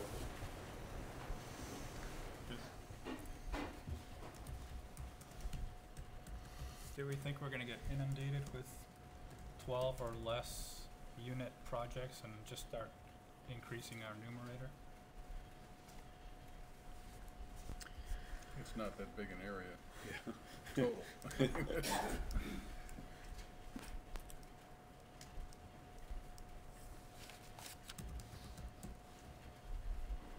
I just note that you have an overall density requirement, whether it's a big project or a small project, you've kind of provided a, a a density guideline, and you- you gotta work inside that, so really, I guess, I'm talking more of a smaller property, I guess. When you put up five properties together and have a larger project, the density's gonna be about the same as if those would have been developed individually. I don't think suddenly you're opening the floodgates to anything more than what could be achieved on groups. And it's ideal probably to have groups of property owners get together.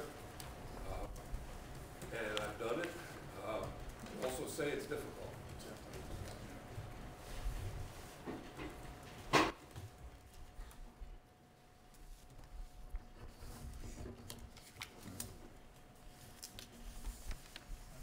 I guess I took it. Yeah.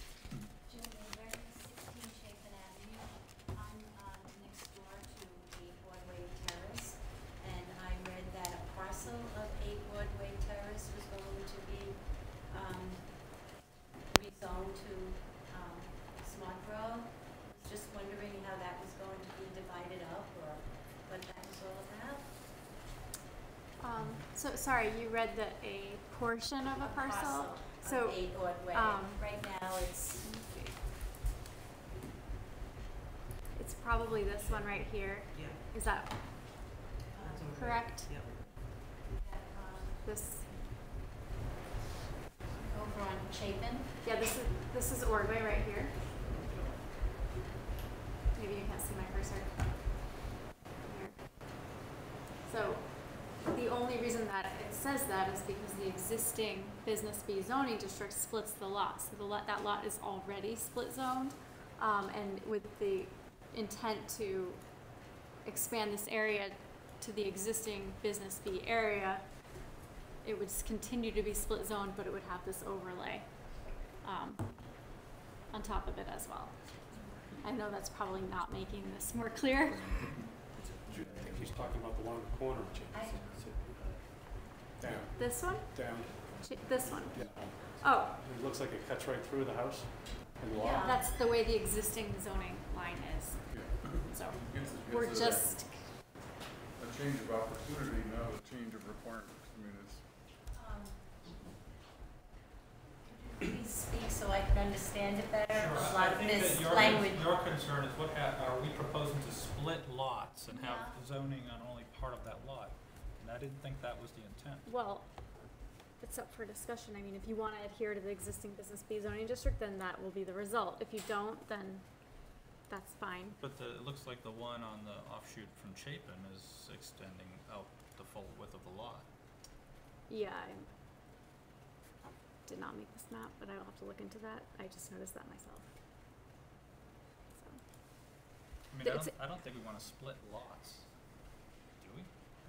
no, well, the. It's, it's following the, the business B. I understand, Yeah. but it looks like some of them are, ex- some of them are extended the full area of the lot. No, the, the green is The the green is, notification. yeah. Just It's not, notification? it's, yeah, it's not This is, zoning uh, change. Okay, is This actually two lots here? okay, sorry then. Wait, can you Yeah, take off the it's- zoning Yeah. for a second?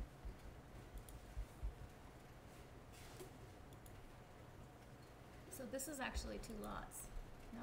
Is that not the right thing we're looking at? Uh, no, oh, is that Chapin? That's Chapin, Is there's this Chapin this. right here? This is Ordway here. This is showing up as two lots. Yeah, but it's one duplex now. So Oh, they, this is so an- it's just not been updated? No, the aerial's Okay. not. Okay. Um, Sorry, that's, that's something we need to discuss, whether we're intending to split a lot, and I didn't think we were. Uh, because I thought that that would just add complexity, but to hear what everybody thinks. Um, well, is there a, a minor change to the wording that would allow us to, um, fix the, the map for the overlay? Cause basically it's a map yeah, we can, difference. Um, Well, uh, yes and no. Well, Because, let- right, let's, let's play that out with the, Yeah. with the parcel that, that, um, that she brought up. Is that right now, where that building is, I presume it's a house, where that house is, um, uh, that's in a residential dis- district, and you couldn't have a, a, a business there. But if we extend, um, the downtown, you know, smart growth district to include the, f- that full parcel, then you could, you, you could elect to, um, to enact downtown smart growth and create a, um, create a retail store on that front, the first floor and build two or three units up top. That's not, that's not the intent, right? I mean, that's not really what we were thinking of doing. Right. So, which is why we wanted to line up the, the downtown smart growth with the business B, um, because right now, I guess, maybe in, the- on the back half of that lot, I mean, you can't do it. You can't build on the back half of that lot, so, um, It's unlikely somebody would put a retail location on that out-of-the-way location. street, right? But they might use that for access to the backside of some lot that gets combined with what's happening in the front. What was that? A little bit louder? Sure, sure. It's unlikely somebody would locate retail in such an out-of-the-way street, will say that, Yeah. yeah. um, because there's just not enough traffic there Yeah, for them, that's what really. shows up here. It's But two it's separate possible that lots. somebody, if that lot, Great So if, this if is the boundary correct. extended through that entire lot, that somebody used that as their access point to get into those lots which front on Main Street. You know, but if I'm looking at developing that property, I So might it's just develop that several of line those lots. Okay, so So, just to, just to clarify, that, this one right here that we were just talking about is actually two separate lots. And it just that this blue line is thick enough that it goes right between them, so it looks like that these, this is attached. But it is two separate lots, so the only lot that we would be considering for the downtown smart growth district overlay would be this one that's green right here. Can you, do that? Or is it too No, I don't think so. Okay. And which one is that? Sorry, I don't understand the question. So it's two, different lots on the Chapin Ave. Let me just blow it up a little more. Um, yeah, so this blue line actually goes right down the lot line, and this green portion is a separate lot than the white portion.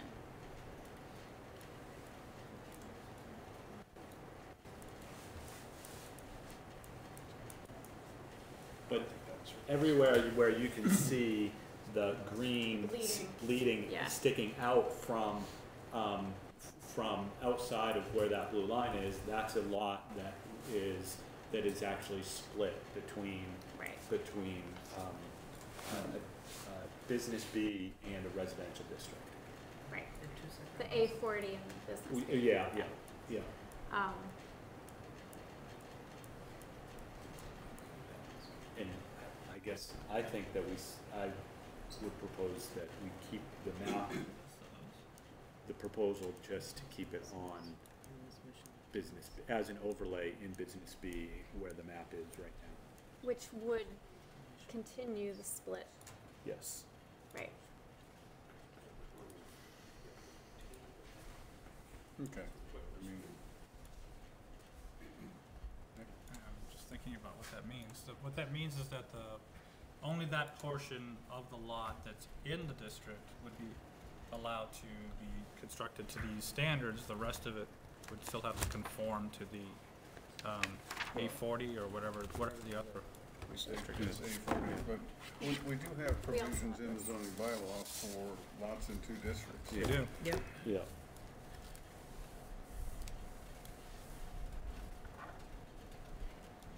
So this says that it may be extended to that portion of the lot that is not more than thirty feet from the district boundary.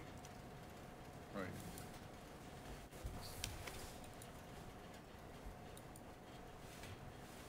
Not more than thirty feet district boundary. So that means it's not even up to the line. Right. So that, that means that it couldn't even go up to the, the very blue line, it would be thirty feet from the line. Am I reading that Yeah. right? Like, like, well, so I think, um, um, That's a good question. well, it's a little tricky because it has a couple exclusions. Um, One's aquifer I protection, though, I love, don't and think the other one- is multifamily housing. Any lot used for multifamily housing, so. Um, it's also, um, The concern is that if we start splitting lots and have one, actually, we'd have two, we'd have a, the, the underlying business B, and then we'd have the smart growth overlay Right. on a portion of the lot, and then the remainder of the lot is the underlying other district, which is A forty in this case. And So what happens to those lots? You know, What does that development look like? What do the setbacks and boundaries look like when we're trying to accommodate two different zonings? I think it's I'm never personally a fan of lots that are split by zoning. I- I I'm think not it's either. crazy. Yeah, I was just concerned about splitting Eight Ward Way, which is right next door to that, to me, you know. um, And if that was going to become Spot Road, I was just concerned about development. And, um, just trying to understand. You know, it's a, it's a good question, not just for your particular location, but for all of the locations Yeah. throughout. You know, what do we do with some of these lots that are being split? Do we expand beyond it to make it more, a more attractive parcel? Or do we, do we stay on the line and have this uh, setback rule that pushes it back away from the line? That seems to kill a lot of these smaller lots that are right along the edge. What kills them, sir? Well, if, if we have to, um, if we're, if our district goes right up to the blue line, right up to Business B, Right. and many of these lots are being split right here between Parker and Chapin, right? Yep. Well, If no, from I- that, I, I guess it's only, can you, yeah, we're, we're, we're talking one, two, three, four, five lots, right? here, Yeah. one, It's One, five two. lots. okay, three, four, One, two, Alright. three, four, five. So, not that it's not an issue for those five lots, but Right. we, we're talking about, okay, I'm just looking at yeah. elsewhere. And the, right, the other side, that's, that's the, um, the publicly owned, um, parking lot, where it's, Yeah, where it kicks out there. Um, a- and I didn't see any others.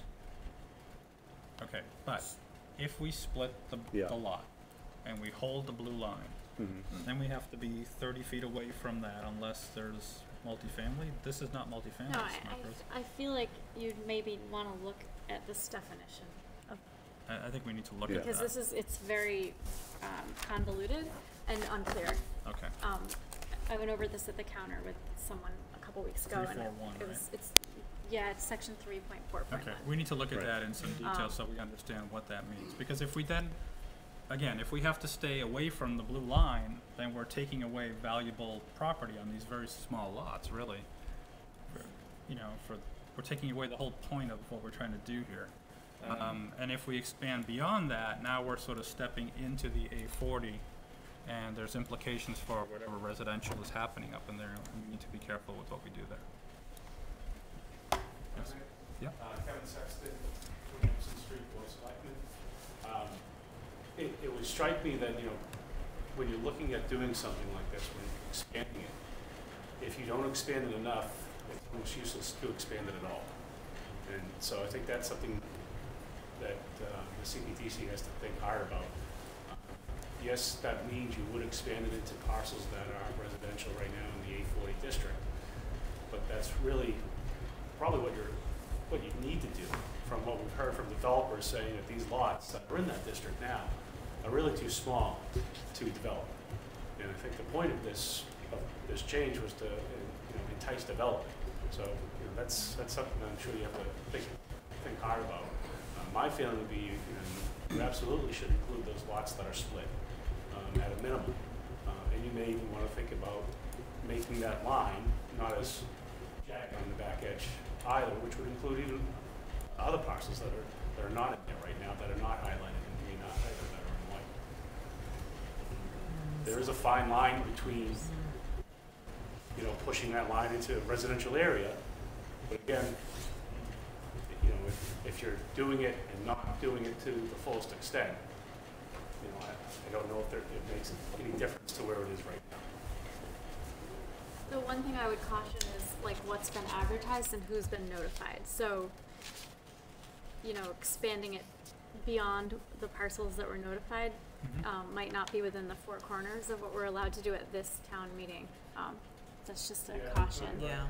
Um, And we do have to remember that there's, there are a lot of properties to the left of that line, right? Yeah. Right. Right.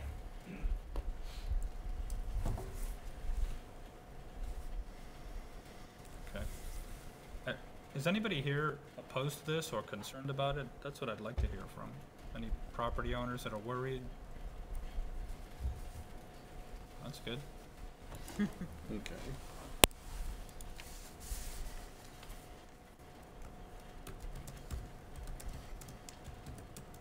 Thoughts on, um, design guidelines for the potential sub-districts? Any concerns for different areas here? Or do you think it just works for all of this? Remember, we can, um, we can waive any of the design guidelines, and we can waive any of the requirements if we felt that it made the project better. Well, I, I think that the existing guide, the design guidelines for the, the current, uh, smart growth district were carefully written and they are certainly a, um, workable for now with the expansion.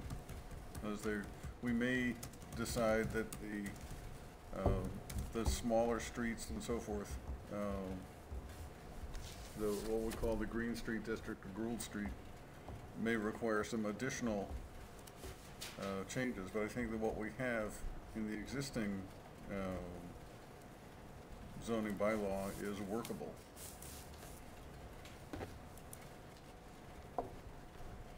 I would agree, you know, and, and certainly, uh, you know, um, I think we spent a lot of discussion before, um, Tom, talking about that Green Street area. Um, I, I guess I have a hard time seeing, um, any of those be developed, um, uh, as ones or twos, um, or- redeveloped, changed dramatically. Um, it's just so hard to guess, um, in that area of, of what would, what would happen. I think our design guidelines that, that were developed before sort of set that, that parameter of what we're looking for. Um, and if it doesn't quite work with that area, um, in transition or, or, um, a, as a transition, then we, we just need to figure that out. Um, but I think the basics are there, that we can work with any area in here, I mean, Mhm. they speak to Reading. Okay. Um, I guess the one, eh, one thing that I'm, you know, that I'm, um, that I question in this is not the, the map, that, um, although we probably do need to, to talk through those split um, parcels, but the twelve unit, um, threshold, um, to me, that's, that's big, that's hu- for me, that's, I think that's huge for Reading. Um, especially looking at the size of these parcels here, um, um, and, you know, I, wouldn't want us to fall back even further, um, with our affordable housing. It, to me, it seems like somewhere and the, um, I, I can see a six unit, maybe that's, I'd, I guess I should say, I'd have a hard time, um, seeing that we should exclude anything over six units. Well, and, but at the same time, um, I mean, in certain areas of Reading, twelve units, a new twelve-unit development would be a substantial change. Um, But from a development point of view, um, twelve units is, is not enough to cover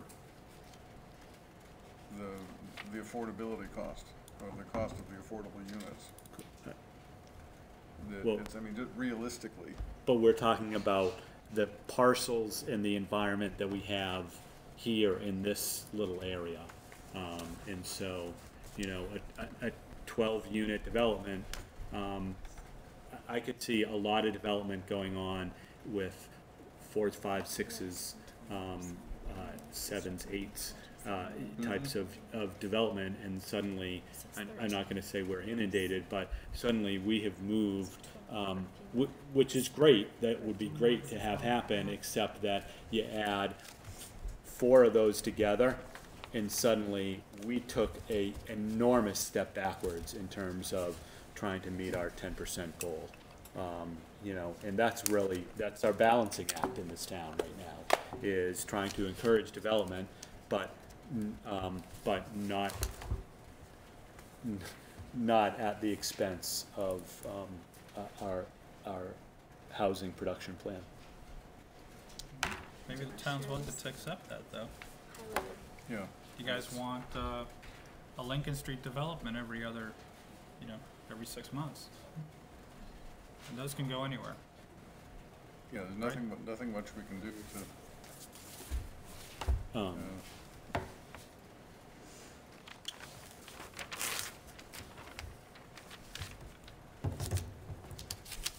It looks like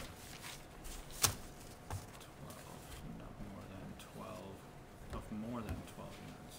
right.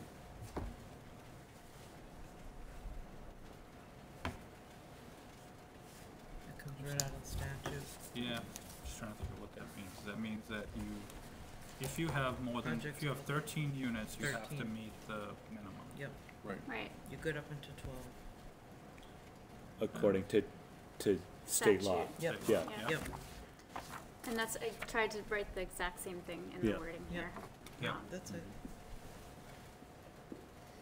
but that's for, the, right, that's, um, some Greenfield in Westford has to put, has to comply with that as well as this. I mean, so, w- Right. right, it's, it's context. One size Yeah, does one not fit all. size does not fit all, Right. um, so. um,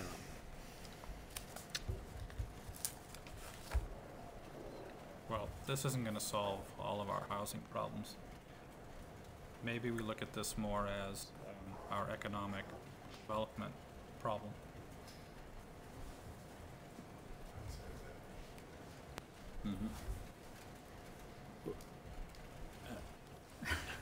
I, I, I guess the, the, the comment that even brought, got this up was that we are continually falling back.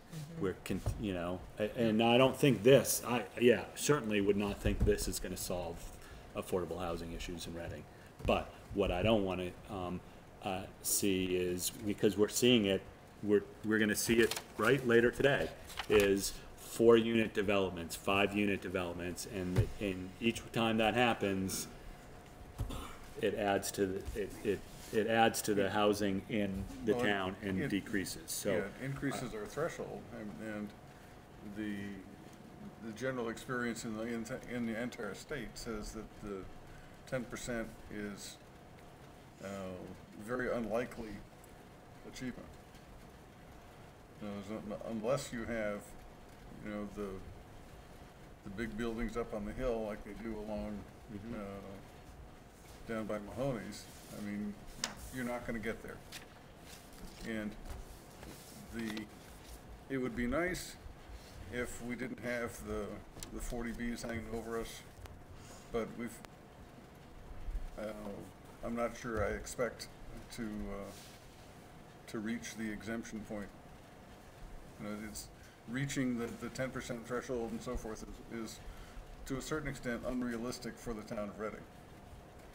As we don't have the, um, available land for the developments, we, I mean, we're constrained by huge amounts of, of wetlands. Uh, The town is, is well built out in the character that we would like to preserve. So the, uh, running away from an unattainable threshold is, uh, I don't think we should spend a lot of time on it, honestly.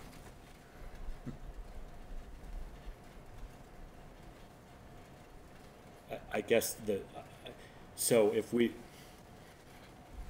it is the character that we want, but it won't, it, we- if we don't continually try and get there, maybe we won't, we've, we've staved off some really unfavorable developments through just trying, right? Um, and so, um, we'll get stuff pushed on us, and it won't be like Reading, and it, and it will change, um, if we don't, it, it will change the character if we don't keep trying. Um, so I think wholeheartedly, we s- still need to keep, keep trying. Um, and my point here isn't that we, um, that this is gonna solve it, I just don't wanna, I don't wanna set us up, that everything in, any housing really that gets developed in here ends up, um, pushing us backwards. You know, the, the point here, I think, in this development is, um, is not to solve affordable housing, but it's to bring more people, um, more, it's not even gonna solve, it's not really, as he said, it doesn't do a whole lot for economic development in the commercial standpoint, because we already have a lot of ground floor commercial. Um, it's gonna add people, it's gonna add some vibrancy to downtown, which I think probably helps all those businesses, um, which is a, which is a good thing. Um, so, um, but, you know, I, I just, twelve to me seems like we're giving up on trying to get any Yeah, affordable but housing. what's that number? So let's say that number is eight, because I think six is too small. But if the Yeah, number is I- I- eight, so only one of those units in any one of those developments is affordable, so four units. Potentially, four units. You, you said if we group up four of these, you know, if we did the number twelve and n- none of those had affordable units, we'd have forty-eight units added with no affordability. Yeah. Um,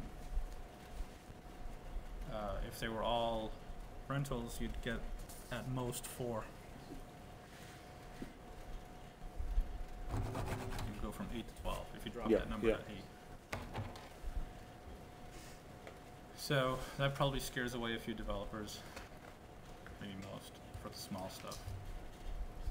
And then you have to wait for somebody to bundle up something, package it before anything really happens, potentially.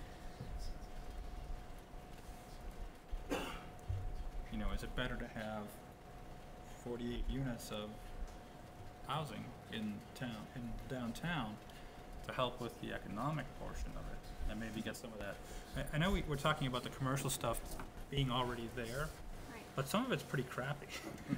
And so redeveloping that makes it more attractive to maybe a Yeah. different mix of uses that add something to it, you know? And our vacancy rate is candidly higher than we would like it to be. Right, so let's say we fill some of that up, because there's, you know, there's ninety more people living downtown. Right. That's probably worth giving up on the three or four units. Right. Um, all we really need to do is make, what is it, one percent, two percent a year? Wait, Progress. Well, it depends. If you wanna get a ye- you, it remains to be seen how the state really views this. We're, we're going off of some very loose information.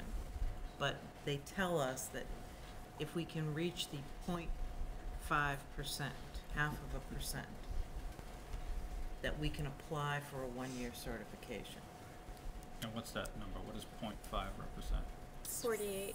Fif- yeah, I was gonna 48. say fifty. Forty-eight units. We'd have to have all of those units be affordable, Right. right, in order just to s- stave it off for a year. Well, the forty B that just got approved down at the train station is, would, would be one way we could apply to the state, yeah, Right, and but say, look at the size of that developer. right, Right, that's not these twelves, these, not Right. these twelves and sixteens, that's a seventy u- 68 unit, unit. sixty-eight unit development. yeah. And we're just gonna keep getting hit with those, so let's face that. Hopefully, instead, we'll get people who go into the smart growth district and use these guidelines, which are much better. You know, a lot more control, the, the projects will come out a lot better. Um, a little more say in what's happening, A lot more say. a little more say. Because they're always gonna yell at you that, oh, we can't do it, we can't make enough money. Um, I'd like to see some pro that actually show me that, by the way. Um, So, uh, so anyway, in my opinion, I think that the twelve is not a bad number, and I think we, we give up those four units potentially for some economic growth. And it's all just potential, right, cause Right. Right. someone has to Yeah. wanna do something. So do you guys wanna Hmm. talk about, um, Big one thing that was discussed, um, during this process is whether you go forward with one whole district and then, okay, that's, say that doesn't pass, look at, look, doing just Main Street, um, or whether you wanna portion it into the Green Gould Street neighborhood as one and then Main Street as the other. Um, how you would wanna draw these lines so that I can prepare the actual article for town meeting that talks about the map amendment. Article or articles, I should say. Well, everything that we've heard so far says go for, go for the, uh, the whole area, I think.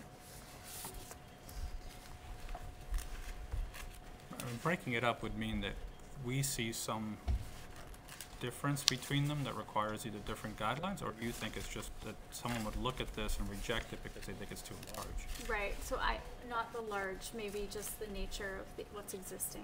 I don't, Um, we don't have enough time to come up with design guidelines. that- I'm, I'm not suggesting that. I'm saying if you go for the whole thing and it gets overturned, do you wanna have a second option? Um, or do you wanna portion out, parcel out Main Street so that it's, um, Thoughts? I, I think the, the rationale behind the whole thing as one is, is sound and is a worthwhile endeavor for the town.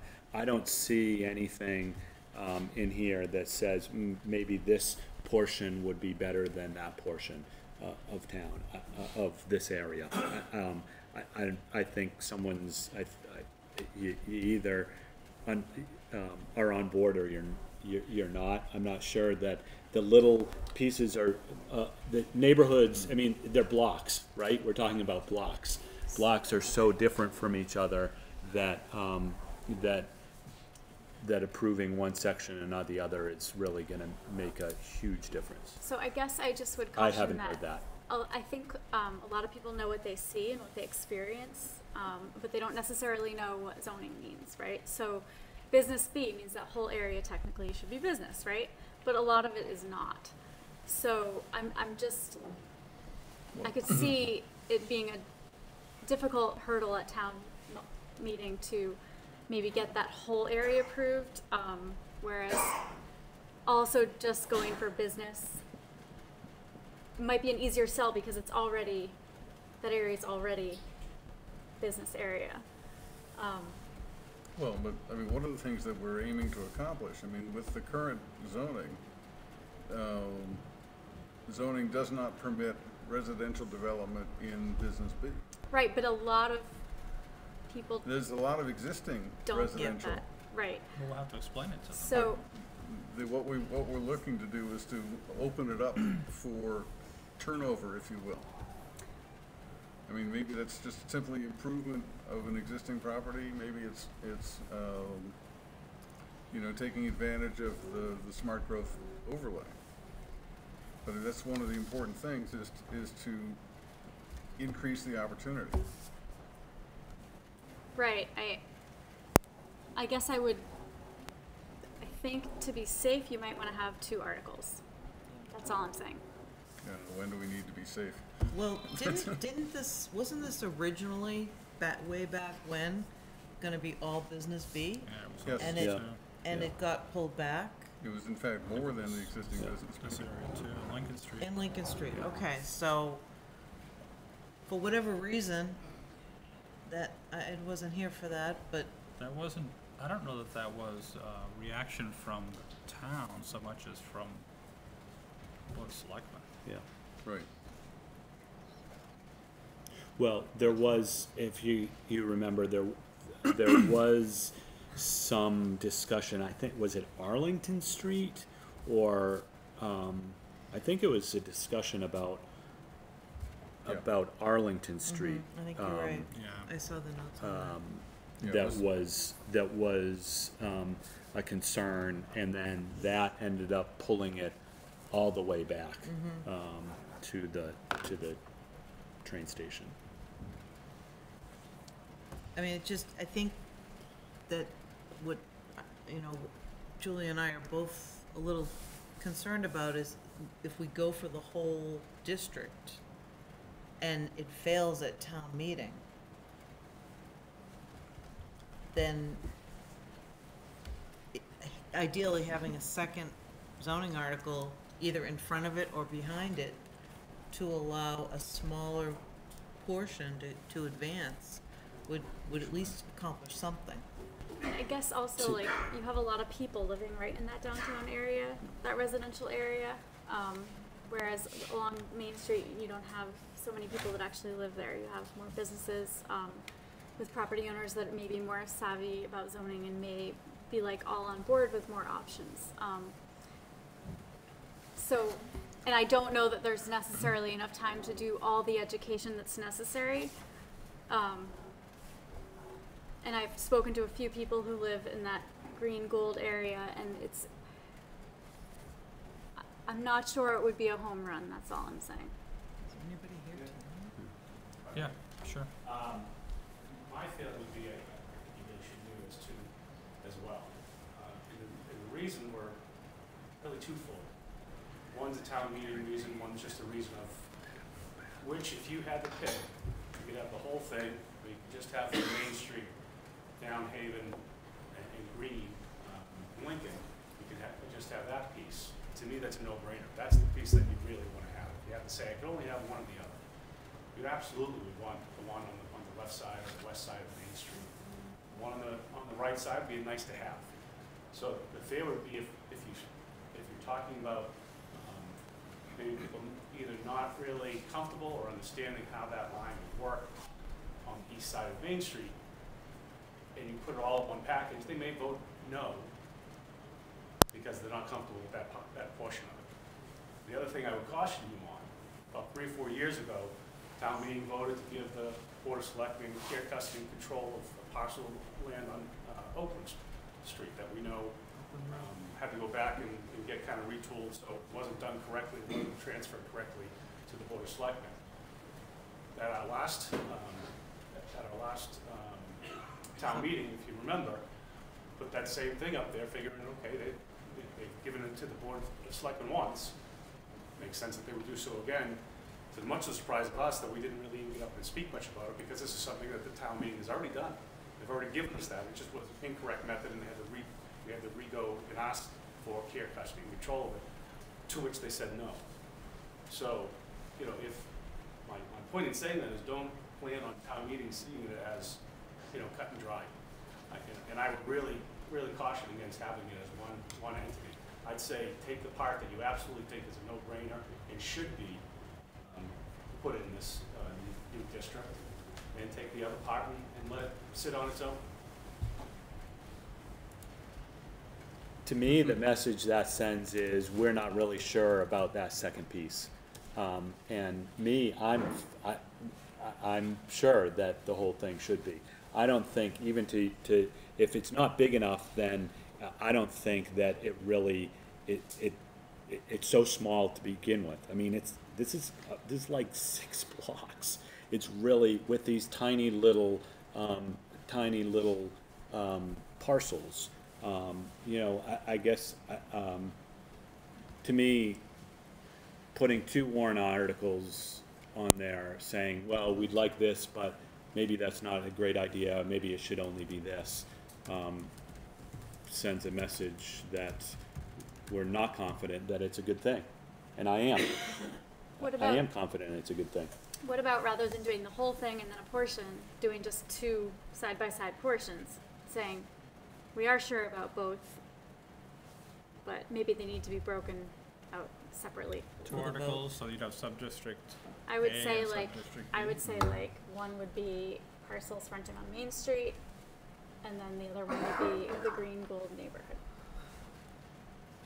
And what about the, um, the resident, the apartments Yeah, between Lincoln Green and Ash? That would be part of it's like that. Would, that'd be that side. That That's in I Ro- see like Ash to like the blue line being like one, and to then the yeah. East of Ash and to the west of Ash. yeah. Ah, Do you have any tools for editing? Hmm? You're gonna get all fancy. What's up with this mouse? Pain. we're on a tight budget. Hate Windows. I made it. Uh, let's see, where is it? So you're saying that this, No, this no, area, no, or I'm else? definitely not saying that, no. She's just saying Ash Street. I have All the way down to Main and east. Now you've done it. No, I canceled it. So, which one? Okay, This- start, start the Yeah. line where you started it Ash. and just Uh, follow Ash Street. Yep. Or draw a You go. box, that's cool too. You gotta go back to your, Really? yeah. This is stupid. You guys need to get Bluebeam.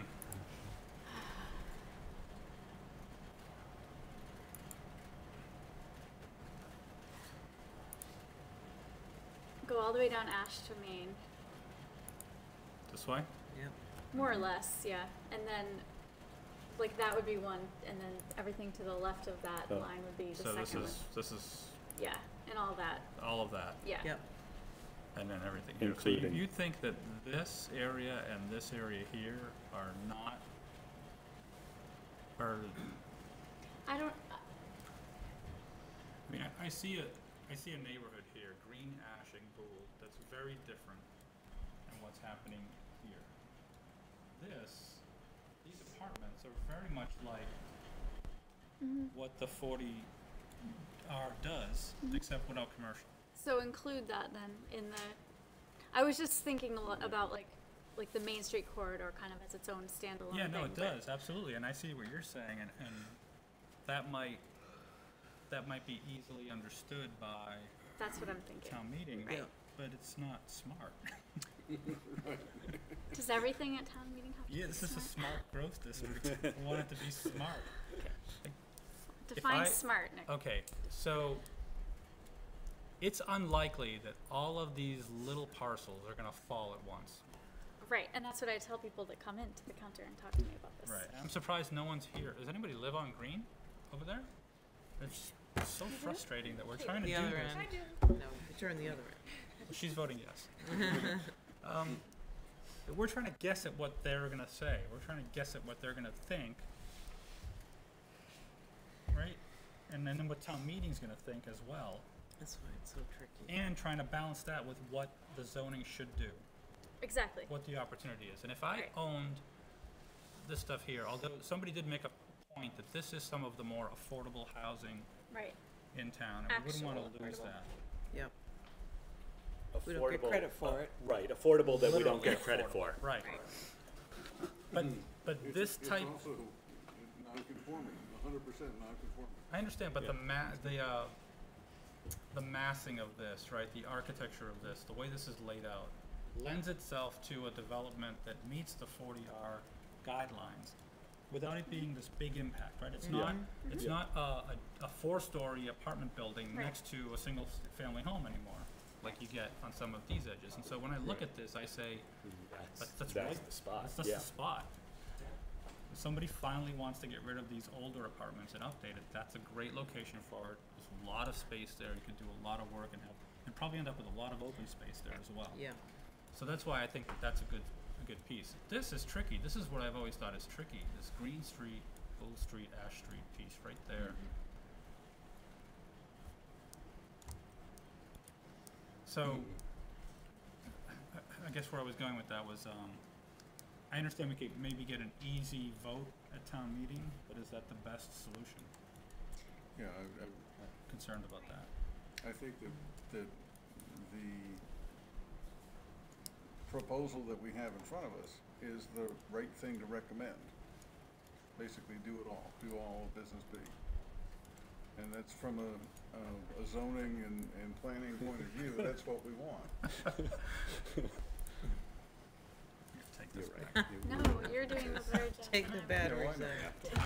I- I've, I've worked with computers for more than fifty years, I understand this. How do I turn it off? Here? There we go. Um, Can I ask a question? Yeah, sure. Um, So in regards to the line, are you gonna go back and kind of look at, fi- and kind of figure out what you wanna do on that east side of Main Street with that, that line, or are you, are you planning on just going forward with what you have on the business B line? Well, the question is, The reason I bring it up is if you're thinking about maybe you know, you want to discuss it more. You could always take that portion and put it into November. Then it solves both your problems. You're putting forward this, the portion on the west side of, um, Main Street come April, and you're saying, we think this should be in here, and you think there's more discussion needed, and you wanna bring back the other portion in November. Then effectively, you're sponsoring both of them and saying, we think these are both important, you're also able to break them up a little bit. I think one of the, one of the property owners. what you think Yeah. that line, you, that's set on it, or saying, you know, maybe there's more discussion to be had there. I would think that on, on that line issue, is that what we really need to look at is that clause about, um, about parcels in two districts. And, Right, and, right. and I guess my approach, my suggestion would be to go ahead with the map as it's drawn, or into two different districts, whatever we, we decide, but on that, um, east, east side is go with it the way that it's drawn. I think we still need to go back and decide if that, that, um, section on how we deal with, um, with parcels that are in two districts, I, I think that's the piece that needs to be, Yep. um, Yes. and that's, that would be not under, not now, but the next, next go round. Yeah, Yeah, That's I m- agree. my suggestion. yep, that's I agree. Yeah. very sensible. I I haven't been to as many hearings as you folks obviously have, but my recollection was one of the public hearings where you had the public, uh, put post-its up and we were designating which areas. You had the Main Street corridors, one area, you kind of had the, there was a triangle between and a- there may have been another area. And it came out of that meeting that there seemed to be, we were sort of asking people to prioritize it. And that Main Street corridor came out as the one that had the most support Right, and I think that's, was how, that's how I understood that particular portion of it. And then as meeting went on, there, were, well, why not include that triangle that was sort of being left out? And we, we went to the larger one. Yeah. The tactics of town meeting, uh, I'll leave to you folks. Uh, uh, if you figure them out, let me know. I don't know. Um, I would say Main Street ought to be treated as a corridor. I don't think you wanna have one side of the street be in one zone and the other side in another. And general rule where you're drawing zone lines, in prior life, I was a city planner, um, you you try and draw them around behind lot lines so that people facing each other on the street are treated similarly. Uh, I think it just creates difficulty when you, it's very convenient to draw a line down the middle of the street, but then you, then you create a, a war waiting to happen, right? People, people looking at each other get treated differently. Okay. Any other public comments? So what is our schedule? What do we have to have done? uh, you need to basically decide tonight Mm. what you're Yeah. putting on the warrant. Okay.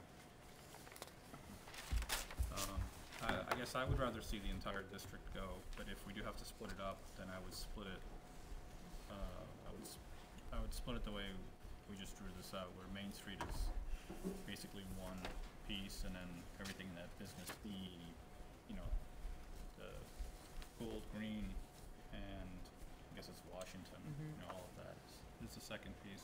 The, the, kind of the way that I was Yeah. suggesting Yeah, the way you were it. Okay. suggesting it, because just, just as the Green Street is unlikely to fall all at once, those apartments aren't going anywhere anytime soon, really. And that is in keeping, as Jim mentioned, Yep. with what we presented at Yeah. the workshop. Right, Yep. right, actually, I Um, said at Jim's table, yeah. and I think he owns the property on the right here, but I, I do think Main Street should be a co- corridor, with So would sides you, s- eligible. Would you, s- if you were to split it, would you split it into two separate articles, or would you do a whole big one and then split out Main Street as a second one? Or would you start with Main Street and say, you know, we have some opportunities here to make this simple and bring the line down Ma- Main Street? And then if there's support for that, and say we, the bigger vision is hmm. for all of Business B. If we were going to split it into two articles, I think Main Street will probably be the easiest one, and so that should be first, and then we can show them the opportunity. And then, I mean, I What are your guess, thoughts on it? I- I know I- you don't wanna split it. I, don't I wanna wouldn't either. split it. I would not I think we split it. can, I think we, we can sell this to them. I think we can convince them that it's good planning. Uh, Yeah, You I wanna wanna have a- put you wanna something have a backup together article? forward that is the right She wants to thing have to a do. backup. I don't wanna have a you don't backup, have- I don't wanna have a backup, because this is the right thing, we all just sat here, Yeah. we've talked about this, I agree. you know, this is the right thing, and, and, and Nick, you said it, you know, it's, it- and I agree, that Green Street area is a concern about how it develops. Um, w- uh, and I completely, I, I get that, but that's not to say that we, you know, if we could, we, we could draw a little, a circle around those, those, what it's at half a dozen houses, that would be one thing, but that, that makes no sense, they're in, they're, they're in a context. They're, you know, that, that's, they're in a, a, a bigger neighborhood, so that's not even really do should be the much, so. I, I'm not sure what we're, by trying to do it in two different ways, what we're, what we're really trying to do, except for water down the whole idea. Um, the one wrinkle that, um, some of us in this room have had some preliminary conversations with property owners on Main Street that are potentially in a selling mode. So that's why the Main Street piece, Hmm. um, is important. Well, but from a planning perspective, the area where we have the apartment buildings with the, the big paved area in the center and the triangle, uh, between the train tracks and Ash Street, which is almost entirely commercial. I mean, those are the areas that we most want to include in the smart growth district. And those are the ones that, basically, that says that we should just do the entire business B. Because you can't carve out, you know, four houses here and five houses there in the middle of the, of the thing. But from, from a planning point of view, the, the priority is, that's the section from, you know, Green Street south to the, to the train tracks.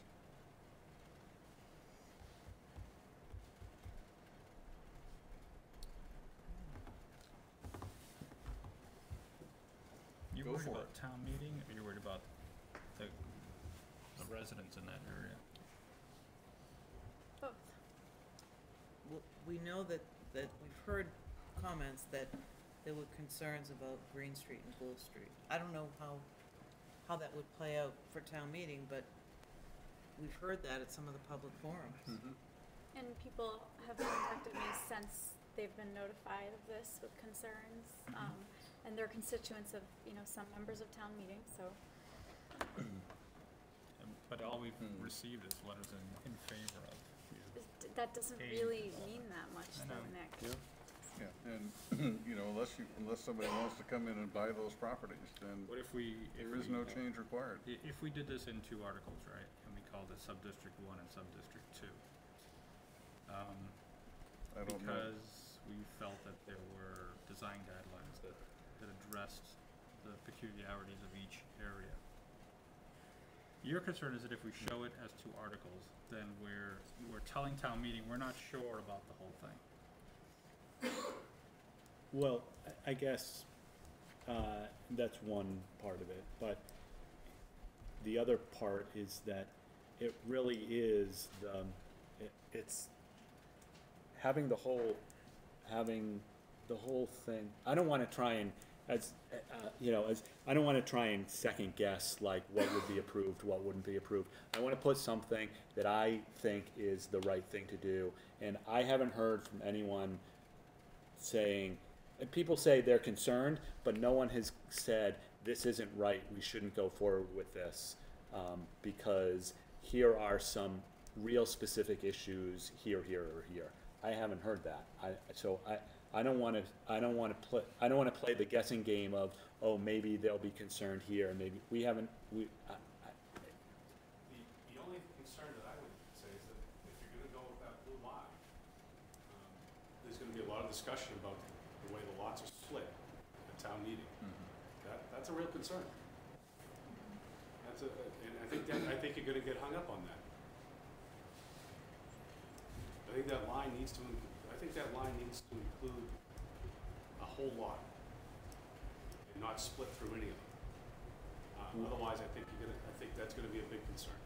I, I guess right now, those same five parcels have that same issue. They have, they have, we have a set of rules. They may not be the best rules, but we have a set of rules on what they can do in terms of, of, uh, a commercial use and, and residential use. Um, Right. They do. That could be refined. And I would also say that it's wrong. Yeah, I mean, it's not great. I don't, I don't love it. Yeah, You know, it should never be drawn through, through lots. I, I, I would I- agree. So I Agree think a hundred that's, percent. that's where you're gonna get hung up on. I- I think So we've right done now, enough though, we could- Talking about that piece and getting, and defining that line, that's gonna make more sense. Well, uh, For the district as a whole, but also so it doesn't cut through lots. Why can't we just say that? You know, and maybe it won't, maybe that line isn't ready for April. For right now, we can, well, but what, you- what you're suggesting, and, and I think I am in favor of it, is basically take advantage of the fact that we have two articles. One is the zoning article to include all of Business B in the downtown smart growth district. And separately, there's a change to the zoning map We that we probably have to use the map change to fix the, uh, the district boundary. But, I mean, But then you have one that may, you, you then create an environment where the whole thing doesn't pass because they say, well, you have enough, would, would you put the, the map first before business B? I think you'd have to, right, before you put the whole thing up? Why? Because if, if the zoning is based on the district boundary, and you move the district boundary, then the zoning moves with it. I mean, it's, let, let me just be clear though, we're not here to talk about changing the boundary of business B. That's not been advertised. We're here to talk about expanding the Right, overlay. that's what I'm saying, I don't. I don't think that's, So we're not I don't solving think that that. would be We ready can't for change the because. business Right, B boundary. we can't solve that problem Right, right right, now. okay, right. we We could- can't change the business B boundary, but have we set the, the proposed smart growth boundary? Do we say that it's just to match business B? So that would be the furthest extent it could go, would be to match business B. We've said that, advertise. we've stated it I that mean, way. to include the parcels or portions of parcels that are currently, Parcels or portions of parcels, that's the problem. so. Mm-hmm. You can't go beyond anyone that you haven't notified. Okay.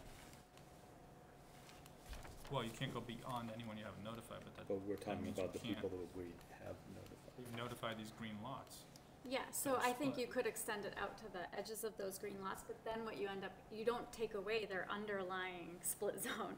You just create an overlay that covers the whole lot, right? So Right, it right, right. become, it's tricky zoning, I mean, Yeah, Yeah. anyway you slice it. yeah, so we have rules in place about split lots, and then the smart growth district would not have a split lot. well, we could presumably, um, apply the smart growth overlay only to lots which are entirely within the business B. We're gonna lose some big lots, I think, if we do that. Mm, Well, we lose, this, lose this, those five. this, this, it's, it's, would make it well, this one is just redeveloped, right? Yeah, What is Well, then what you have is, Oh, yeah, I mean- This one, Di- Not ease of administration.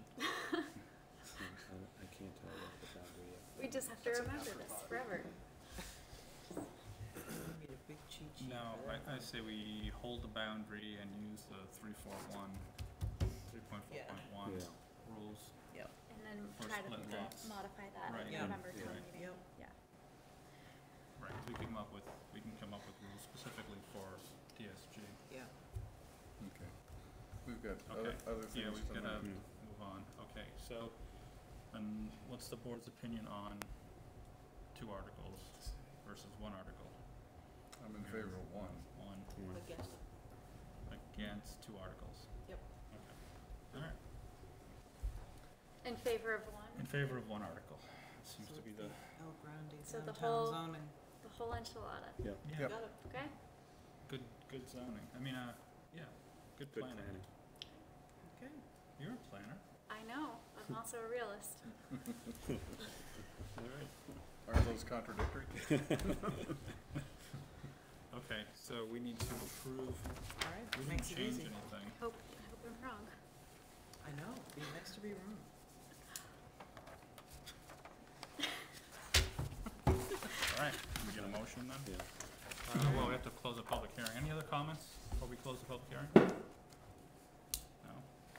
No? Move that we close the public hearing for the proposed uh, modification to the zoning bylaw. Is that the, Yeah. Smart growth. Let's go. To the the downtown smart growth. downtown smart growth? um, Smart growth district.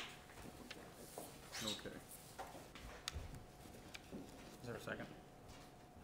All in favor? Closing the public hearing. Okay.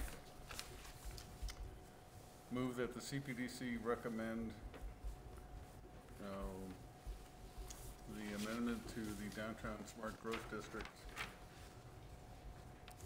for um, town meeting. You have, uh, you have the language article and the map article to vote on. Okay. Yes. Well, this is for language then. Okay. Move that the CPDC approve the um, proposed amendments to the zoning bylaw for the downtown smart growth district and the amendment to the zoning map to expand the existing downtown smart growth overlay to include um, all of the business B zoning district in the downtown area. Second. All in favor? And do you want to take an, um, Take a vote to support it. Move that the CPDC recommend adoption of the proposed amendment to the downtown smart growth district um, and to the zoning map expanding such district. Is there a second? Second. All in favor? Thank you all. Okay. mostly here for the next one? Five? Uh, Five minutes? five minute break? Yeah. All right, five minute break. Did, um,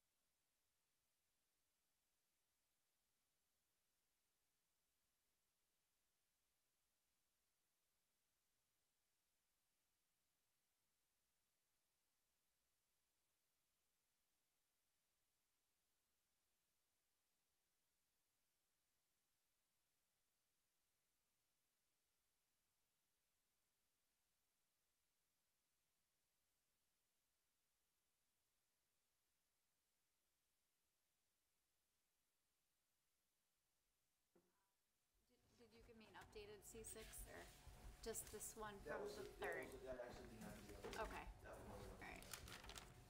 That's why it's part of it.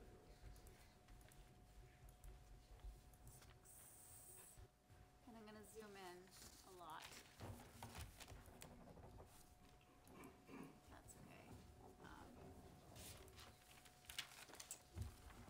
So here we are. Maybe I'll zoom in a little more.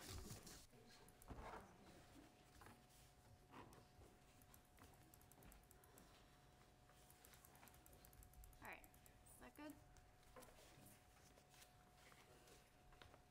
Uh, just as an update, um, after coming to you in June, uh, one of the things we did, we did meet with the town to try to iron out some of the issues. One of them was the train radius of the fire truck.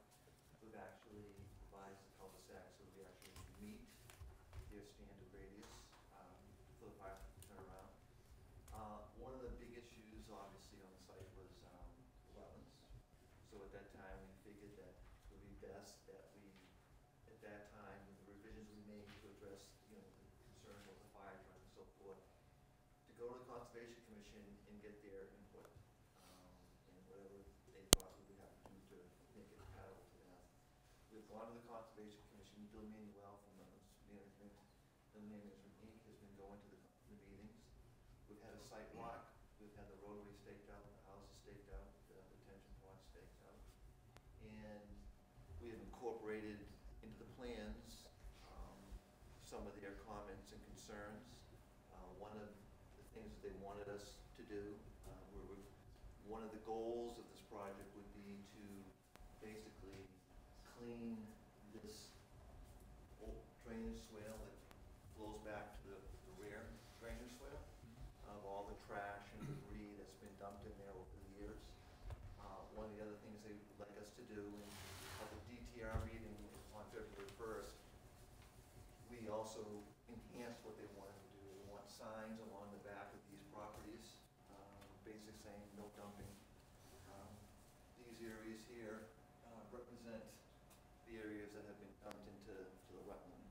So one of the things we're gonna be doing, uh, for, as part of the mitigation with the Conservation Commission, is cleaning these areas that have been filled, um, and then installing these environmental signs saying wetlands, sensitive area, uh, no dumping. One of the aspects of this is in an area in here, part of the mitigation, we're gonna be removing some invasive wetland species. Uh, this will also allow us to basically open up constriction in the drainage that occurs there. Um, and then we'll be doing some additional cleaning along the rear swale that goes to the stone culvert underneath, uh, the existing MBTA tracks. We'll be doing some, installing some fencing along this area here to make sure that the future homeowners don't encroach, uh, into the twenty-five foot no disturb. Of, so those were the concerns that we've incorporated into the plans. Uh, we are heading back to them, uh, next week, February twenty-second, uh, to get their, you know, their final, uh, input and hopefully be able to close the hearing at that time. If not, it may take another hearing to, uh, you know, to close it. Um, so that's basically where we're at. Uh, we have had, we've had comments, uh, from the engineering department, which we don't have any issue with, uh, addressing. Um, And, you know, at this point, we're here tonight to maybe have anything that you may have concerns or answer any questions you have as we, as we try to get to a point where we can, you know, wrap this up and, uh, try to get a vote, uh, from the, uh, planning board. Um, Did anyone look at the, at the plans and have any questions? My biggest concern was, uh, it looked like there was a large, a long memo from engineering on the eighth, that was very recent, I'm not sure how you, you addressed those comments, some of them, uh, had to do with the hydraulic report. It looked like they wanted to sit and work through some of the hydraulic analysis. Actually, I- we, we have the memo, some of them, take for instance, I think there was one issue about extending the, um, time of the uh, hydrograph to make sure that we incorporate the total infiltration of the system. Hydrograph, I can extend it for twenty-four hours. I show, tw- I show a limited amount of time, but in HydroCAD, it infiltrates the whole storm, so I just have to explain that the whole storm gets infiltrated. The hydrograph that I show just is for practice purpose only, so it's, it's, it's a matter of explaining to them, you know, what the hydrograph actually incorporates. In other words, the hydrograph says one acre foot of storm on runoff. That includes the total twenty-four hour storm. I may show twenty hours, but it includes this whole twenty-four hour storm, so. So some of the, some of those things are just, um, and as far as the issue with the seventy-two, um, hour, um, emptying of the pond, it is well beyond, well short of seventy-two hours for the infiltration to take place. So a lot of the stuff are, are just issues that we have to coordinate and, and and go over and, you know, some of it's notation and so forth. And again, we have no, we're gonna address them and, um, we have no problems meeting with them going. We'll incorporate all the recommendations of, of the uh, engineering department into the final, final draft. I think that is part of the uh, proposed uh, uh, draft that Julie had uh, put together for tonight.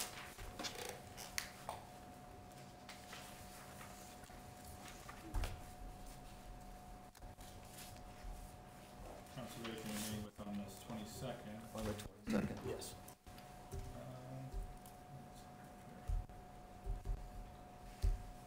There's a discussion in there about landscape buffers, I don't think one of the DRT notes.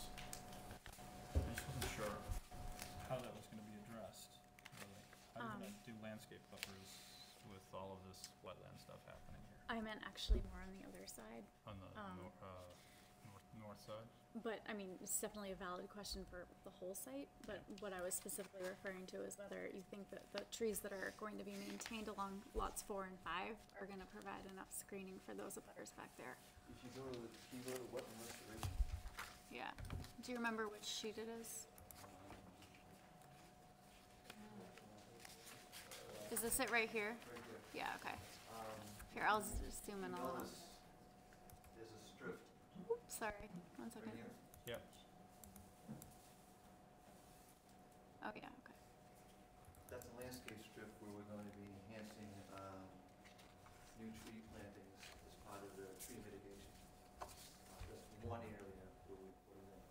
Um, There are a number of other areas, obviously, in the new wetland restoration area, and then some of the areas where we're removing fill. Yeah. Uh, one of the things is, you can see here these red boxes. Those represent the environmental signage, no dumping. Um, at the DRT meeting, February first, uh, we felt that we should probably have one for each of the back lots, which we've modified the plan to show that there'll be one of those signs at each of those, those areas. And this is the, this is the note, this is the area of the stream that's going down to the culvert that will be also, uh, cleaning. Uh, We, we have to emphasize cleaning, we won't be dredging, we'll be cleaning debris, uh, anything that can do with a rake, shovel, and so forth, um, to, you know, hope, to help improve how it, how it flows. What types of plants are you proposing in that landscape buffer? They're on, um, they're shown on, Is there a the table is on, I think, sheet three, it has a, Okay. he has specific trees, Mhm. a a table of trees that are gonna be planted and shrubs, there'll be a mixture of trees and shrubs that meet the, the tree replacement bylaw. Um, Okay. and one of the things, they wanted a three-inch caliber, so that was one of the revisions that we made, the trees will be a three-inch caliber planted. Up, up from two and a half, which was originally called for, and the DRT, they asked if Is that a mix of deciduous and, and uh, evergreen? Yes, yes, evergreens and deciduous.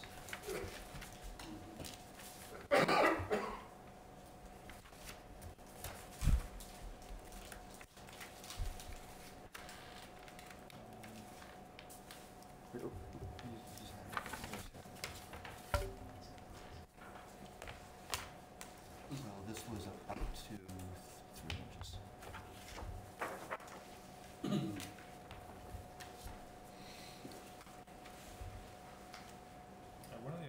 that was in there, and I want, I want you to acknowledge it, is that if you're cutting into Lowell Street, you have to pave curb to curb and ten feet beyond the, Yep. uh, thing.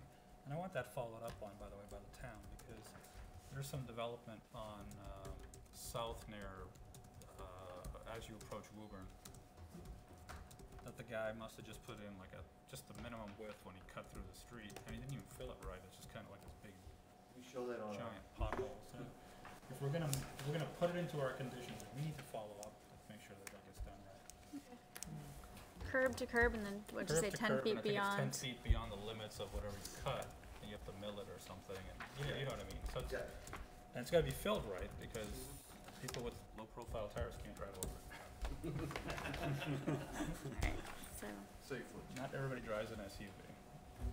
Um, uh, I know that our decision talks about solar again. Um, take it out. no, no, no, I wanna enhance it. You know, Okay. you can, as long as you know where true south is, you can Mhm. be within twenty degrees of that. Mhm. And there's even a discussion about being on the westward side of that, because that's when you get summer peak electricity usage, right, in the evening. And so getting more solar out of your evening sometimes is better, so I I wanna talk about what that language should say about taking advantage of passive solar and solar, not just saying Right. it's not ideal. Like, let's put Oh, something yeah, yeah, positive yeah, in yeah. there. I know. Okay, there's actually two lo- two mentions of that in here, I think. Um, Cause I'm not sure who determined that it wasn't the ideal layout. So if your ridge goes, uh, east-west, typically that gives you your long side south, which gives you a good roof for solar, potentially. Um, But there's some play with that too, right? Anyways, so the- so there's language in the decision that talks about it not being ideally, uh, located for solar. But there's a lot more that goes, it's just a pet peeve I have with the way the language is written, sorry, it doesn't really, we'll work it out. you know, if somebody has a, the perfectly aligned Yeah. roof, but then puts trees in front of it, Right, well, it- it get solar. That's kind of the irony, we have a tree policy where we have to replace trees and they'll eventually grow and shady roofs, uh, but we want the roofs to be, you know, south-facing to accommodate solar Yeah, in there's the all future. kinds of ways to do it, Uh, right? And, I mean, it- they will do whatever they can do to accommodate future potential uh, installation of solar within the confines of these shaped lots, and we want it naturally to look right, um, and have the houses sit well on the lot. And going to your comment about the milling overlay, we show the, the, an area of the ten foot milling overlay on, on the plans. Okay. And curb to curb. And curb, and curb to curb. And that's on C six. You have to go back to C six, it's, it's shown, it's shown on C So you're saying that the red outline is your limits, not the dark shaded area? The dark shaded areas, um, see that the red right here? Yeah, so you're saying that's the limits you're, okay. That's the limit of Not that, No. okay. The area that I'm showing that's gray there is the area that they have to be specific to how they treat and compact and fill that trench. Right. Uh, The only other comment I had on the decision was that we use the word cellar. We use cellar floor elevation, I don't think I've ever seen that before, I thought we've always said basement, but, I think that was on the engineering comments. yeah, engineering had that, that's a comment, that's Yeah. right. Cellar. Change to I know that, basement. I would change the basement. Um, that's all I have right now.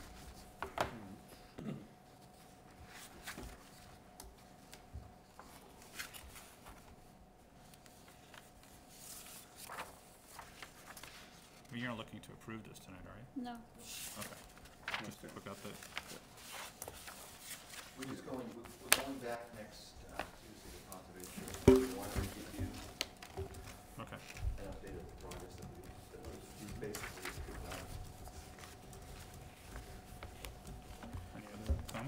comments, guys? No, looking good. Any public comments? I actually have a quick question, and it's for Justice Guys. I love what you're doing on the other side of Long Sorry, can I have your name? Yeah, Kathy Tierney, thirty-three Plymouth Road. But Plymouth Road, I, I'm hoping that you're gonna do some type of plantings and, and blockage for us, because we're getting hit with the street and all the houses and the, you know, the five hundred trees down. Yeah, we, we, I don't see that on there though, I'm nervous. we, in this, It's that, I'm on this side of the, you're on, you're on this side. yeah, and I don't see, I don't see any of the pretty green saying that we're gonna have nice plantings and all. Just the No, signs we're that just say they're getting the done. dig- Yeah, just the signs we're gonna get. Well, as, as, as I said earlier, is that part of the, our work will be cleaning up all the dumping that's gone on our property. When we clean that up, that's where we're gonna do enhanced plantings. But first thing we have to do is clean up the dumping and then, we'll plant. So we have plantings for along here and in this new uh, wetland area here, and then around that, around that border. We also have, we also have street trees shown too, so. So will those plantings grow up enough for- Will to they give us some buffer? type, some type Buffer, of so buffer? won't be able to see as much, So because there we, are lights on it right in our rooms? I'm Cindy Hanson, I live on seventeen Plymouth Road. We've never had to deal with anyone behind us for years and years and years, and we want, we don't want to have people looking in our windows, and I don't want to look in somebody else's window. I don't want to have that. My other main concern as well. Mike seventeen Plymouth Um, we're talking about digging up basically behind my house to make a new ditch. Um, what's that gonna involve? Um, I know there's wetlands back there now, and that digging destroy that and anything that's in it. Um, and that's right in my backyard now. Now, and my backyard is gonna be a lot lower in elevation than what the, all this is. All that water's gonna come off that new property into my backyard. And is that what you were saying about the, um, you were questioning what the engineers had written about the water? The the twelve hour or twenty-four hour flood or whatever, is that part of, is that gonna be all dealt with? We don't get the, the negative effects of all the water back there I know, that it's, comes off the street? it sounds like what's gonna happen is they're gonna direct all the water right to my backyard. And onto their Your road. yard is low to begin with. Yeah, yeah, there's a little. I mean, you get, we get water th- two and three feet in the back of our houses Yeah. in that But wetlands. you're, you're potentially getting water because of the drainage, which hasn't been maintained. All that overgrowth that you call lush green is actually preventing the water from going where it's supposed to. Right. So, when I look at the grading plan, it looks like the back edges of those properties are not at a high point to the very lowest point. I mean, uh, not at a low point to the very lowest point in the, ditch, Okay. right? Can I address the, their, the, the issue? Sure, yeah. First of all, um, the area that we're excavating is not a wetland area. It, it'll be a wetland area later on. Mhm. It'll be, basically, when we excavate it out, we're, we're lowering it. Obviously, that creates more area for storage of, of water. Um, Could you point to that so they can, so they can this area understand this that? area right here. That's gonna get dug And out. that's, and that's an area that has an invasive species in it that they would like us to remove. Mhm. It also, um, will take, help this restriction. What's happened here is there's been filling in this area here that has basically filled in the old stream. What I'd like to point out to you is this red line right here, this red line right here, this red line right here. That is the original location of the stream in the nineteen fifties. It took the drainage from Wall Street to a culvert here, and it used to flow right along this line here, down to here, and then over to the culvert. Late in the fifties, there was a sewer easement placed in back here, along with the gas easement. Sewer easement was for the town, obviously the gas easement was for the gas company. When they did that, they severed this connection by putting this in, because it used to flow here. So it was a mound of dirt here that prevented that hydraulic connection. And what happened is, when Plymouth Road was built, they filled in, in the fifties, the existing stream. Wasn't done in malice, it was just, that's what they did in the fifties. And what happened is, they never did anything to replicate that drainage ditch. So what happened is it was forced to meander through this property. Over the years, there's been dumping along the rear of this line, basically dumping into the wetland, filling it in, dumping of trash, and so forth. This area here is an area of siltation that has built up over the years coming off of Lowell Street. And again, this is not anything of malice, it just, it just happens. Our goal in doing this is to remove this, clean not only the ditch, but take out all of the trash. And if there's one thing I can urge all of you to do, is when it's dry this summer, I urge you, because you can, to walk from here to here and all the way down. If you, can you lower this a little bit, down a little bit? Sure. Oops, oops, oops. Ah. The- What do you, No, bring it down. oh, okay. Sorry. There we go. Oh, don't, You almost had it. I'm sorry. There's an area up here that you can also see near the culvert, near the culvert that we're gonna clean up and fix. That area up there, that large tan area like this, is an area that has been dumped and filled in, uh, on the end of, uh, Dustin Road. That has literally severed the hydraulic connection of the stream. So the stream up gradient of that no longer drained, it's been filled in. The fill there falls into the stream clogs that culvert. What we're going to do is we're gonna fix that culvert, go in, clean it, we're gonna put a control structure on it, so in case it does get clogged in the future without any maintenance, it's gonna have an overflow, so it'll at least have some ability to function. And again, we're gonna be coming in here, this opening up is gonna make this hydraulic connection, instead of having the water go this way, right up against this property line, it's gonna flow through here in a wider, dispersed, open area. And again, in this area here, we're gonna go in, clean out all of the trash, and I, I have to emphasize to you, when I say trash, I really mean trash. That's why I urge all of you to walk this, this area, if you, if you, if you can.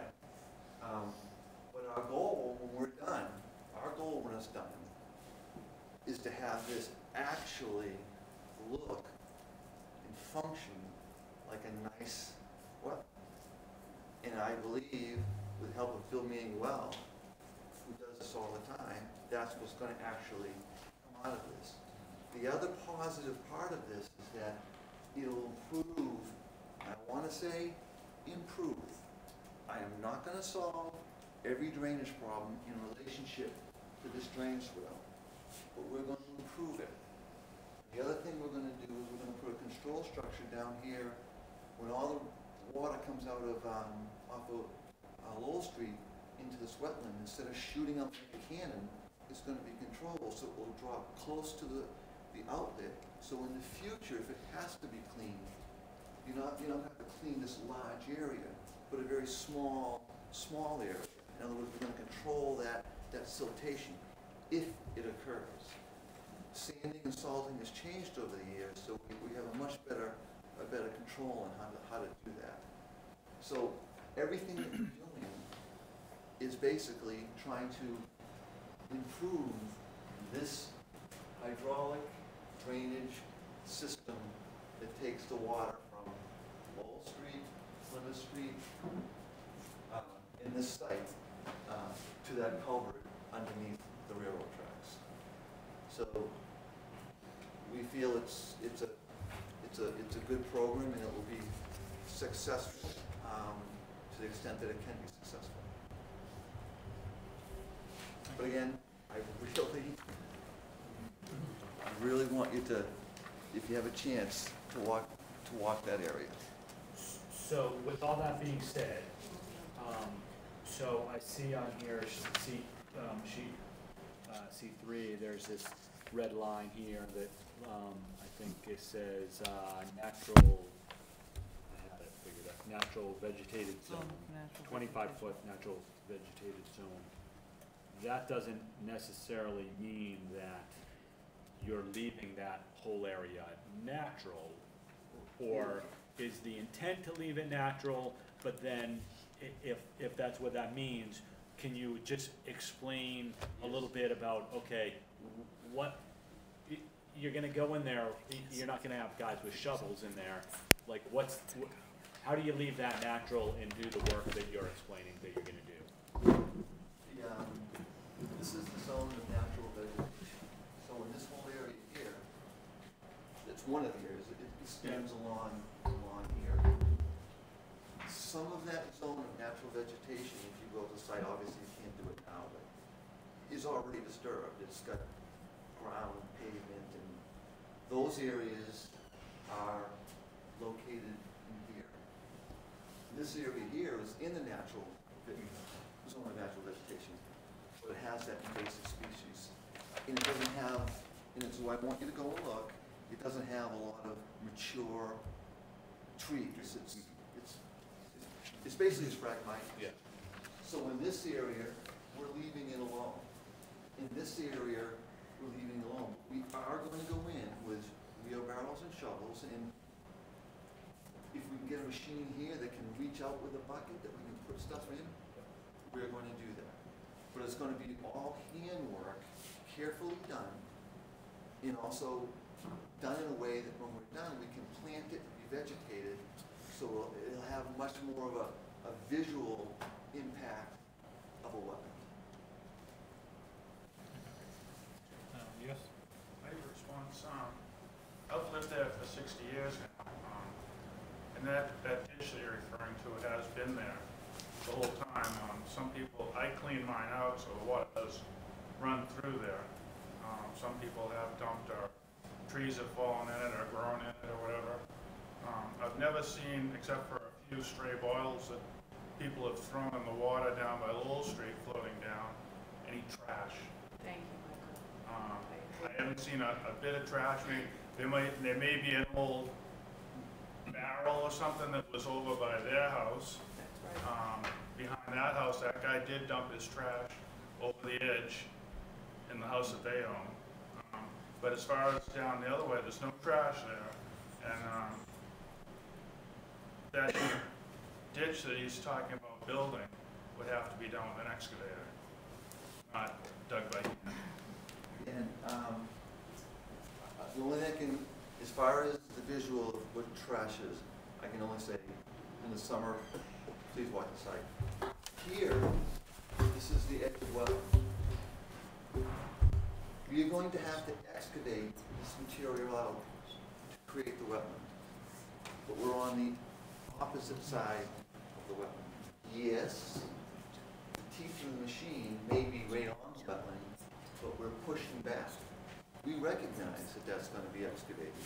We know that's gonna be excavated, and we know we have to excavate it. And again, that's all part of the mitigation plan that we've worked out with conservation, that's part of their, was part of their input in developing the mitigation process. Conservation will ultimately have say on how that gets. I- I- I- Exactly, It's excellent. exactly. I'm just saying, he's misrepresenting. um, No, he's As far his- as he's stating. his trash opinion, and- but- Well, Yeah. I don't- I didn't see it, so, I did ride down the street and so. Whether there's trash in there or not, that ha- really it has just nothing makes to do it with our, Yeah. with what we're looking at.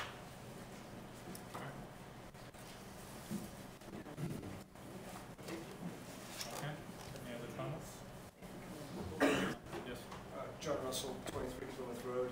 Um, Related to the, to the the cul-de-sac and being able to turn uh, fire engines and snow plows and whatnot, how exactly was that alleviated? Was the cul-de-sac expanded, or was a variance given, or?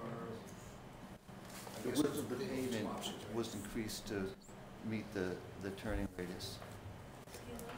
So the the pavement radius is the limit of the property line. And the limit of pavement was increased so that we met the, um, the, the- the radius that the fire chief, the fire chief wanted. If I remember before, the houses, the house pads were a little bit, laid out a little bit different on the site. Exactly, and so exactly. I assume that you, you ended up having to change that We in changed order the to. houses, we made the houses smaller, um, and basically increased the amount of, of pavement radius. So the fire department requires forty-five foot radius, and actually this is forty-six because of your curb. Yeah.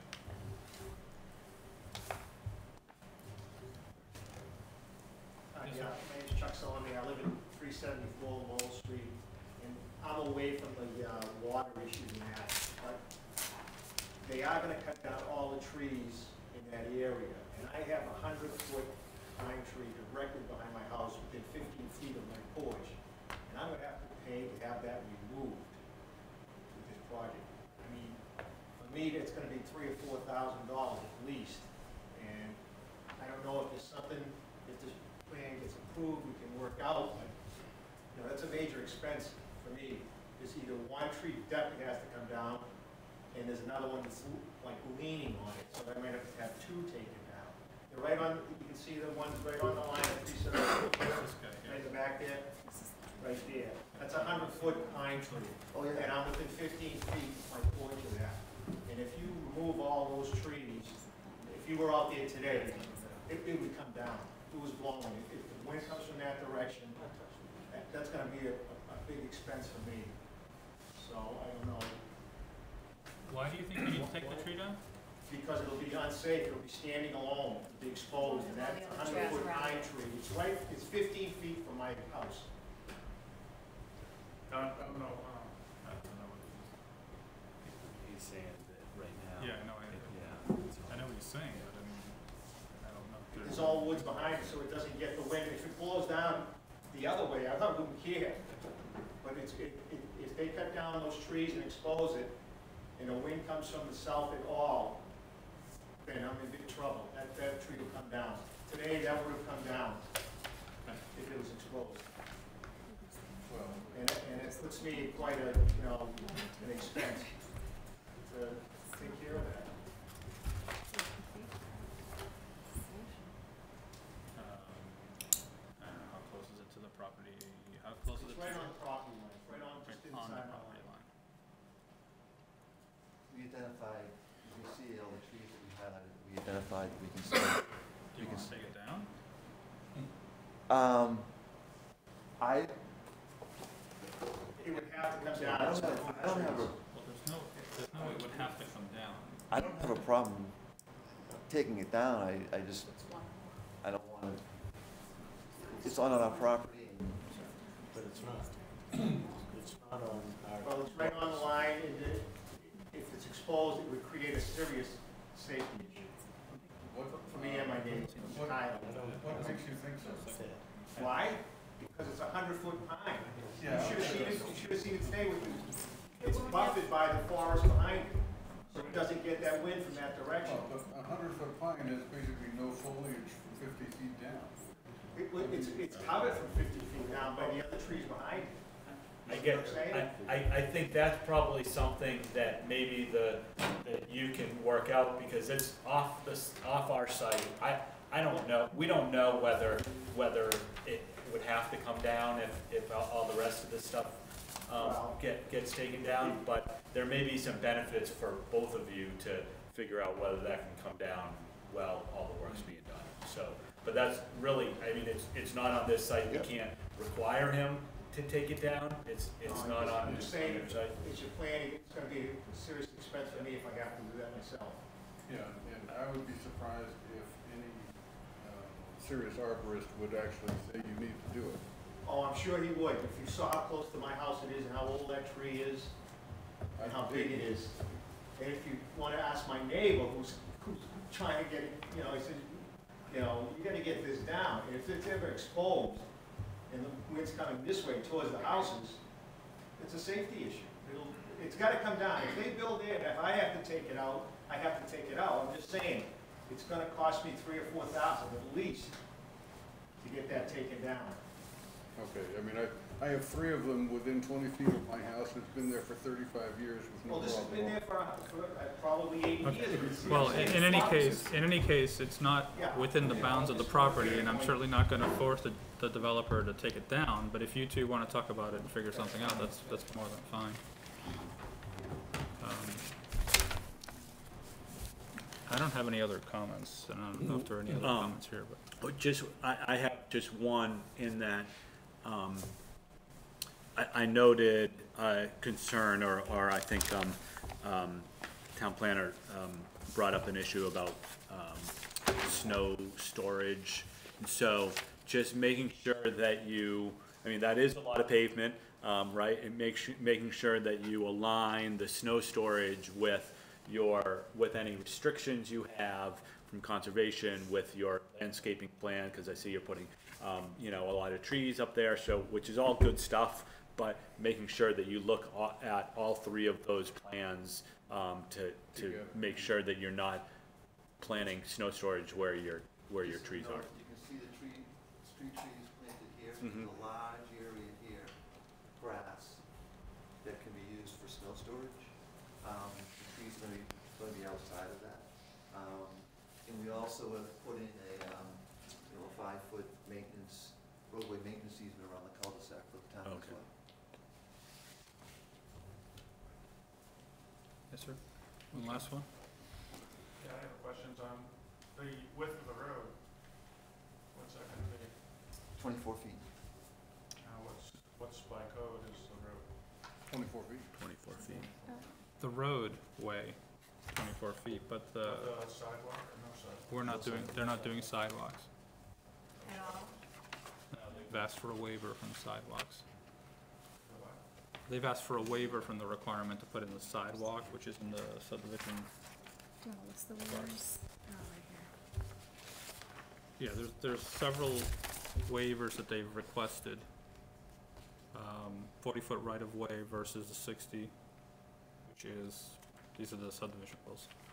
Um, pavement width of twenty-four feet versus thirty.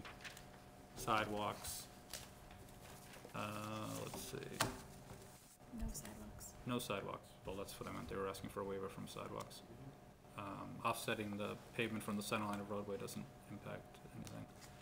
Um, radii of twenty feet where thirty feet is required. And what's the other one? Provide a four-foot wide tree planting easement to the town outside the right-of-way. It's twenty-four feet wide enough for the vehicles parked on the street, going around. Uh, there's That's a, kinda cutting it close. there's mention of putting no parking signs on one side of the street. There would be no parking on one side of the street, You know, that That's, but it's a it's a cul-de-sac. So here's the, here's the, here's the argument. You can't argue that you want more green and then say, build this as wide as our subdivision rules say, saying that the- it which is, fit- which is It really doesn't wide. fit Yeah, You know, we're struggling with that too, by the way. Our subdivision rules ask for this large bit of pavement, you know, all this pavement, when No, no, I'm don't really that need that. with putting it the way it's supposed to be, this doesn't fit there. We, you know, honestly, pretty much every development that has come into town for, I, I'm gonna say the past ten years, we have had, the- we have waived s- some form of the, um, of the pavement, uh, of the street width. Um, because a lot, a lot of development that's happening now is, are these little, um, are these, these, these little cul-de-sacs. And, and it makes no, I mean, you're not gonna have the traffic, you can get around, I mean, I live on a street that's like eighteen feet wide and it's fine, people park on the street and it slows down traffic and people, and it's, it, it works and it doesn't need to be a raceway. You don't want it to be a raceway, it's only, you know, it's, it's not long enough to be a raceway. Um, but the, I guess my point is that, um, it, we real, what we really should be doing is going back and looking at our Yeah. requirements, um, because, because we almost always, um, have been waiving though, that, that pavement width requirement, cause it's, Al- all these waivers are reviewed by town staff departments, the DPW, engineering, conservation, and in this case, the, with, where there are lots, lots of wetlands on the site, um, town staff felt comfortable that these waivers are acceptable, they can still get their plows through, they can still get their fire truck through.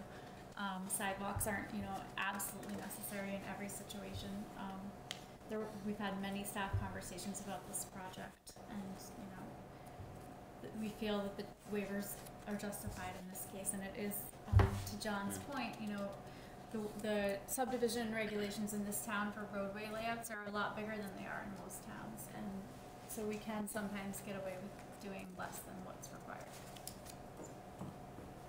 There are some waivers that we, we don't grant on a regular basis, like the cul-de, the size of the cul-de-sac. um, Cause That's a public safety. that's a public safety issue. Right. Um, wouldn't be able to get fire trucks down there, so. The other, uh, Bill Crowley, by the way, uh, representative applicant. The real reason why we're asking for the waiver on the width of this roadway is because the existing entrance in, there are houses on either side. We we can't widen it, there's, there's just no place to go. This is the only way that we can get in. And, and uh, we believe uh, in, in discussions with DPW, engineering, fire department, police department, um, by uh, prohibiting parking on one side, all of the agencies felt that that would be sufficient to get vehicles in and out. And, you know, there are really only, you know, there are three houses, four uh, houses. Um, There's not gonna be that much traffic, vehicular traffic. There are adequate driveways and garages, uh, you know, for uh, Super Bowl fifty-two, when, uh, when everyone is watching the Patriots, uh, there'll be cars parked in there, but there will be restrictions, uh, on Right. the one side. Okay. All right, thank you. Well, thank you. Thanks. Thanks. All right, um, we're not gonna do minutes, right? I only have one set for you. Um, the other ones are like so nearly done that I got Oh, there's so many interrupted. words, and I'm- they're almost always perfect. Oh, well, we can do them next time. Well, read And them, the and next I'll send you ones, too. edits online. Okay. Do that All way. right. I, I think I might have gotten a little bit of the nuance of the marijuana conversation incorrect, so I'll have to, Okay, um, so, such a pretzel, that one, so, yeah, um, okay, uh, motion then? Unless you got something you need to discuss? Sure? yes. But, do I have something I need to discuss? It's like, what? Can I get a I motion, think so. please? I'm ready to go. To adjourn? Is there a second? All right, Uh, all in favor? We're Adjourned. Wow. Thanks for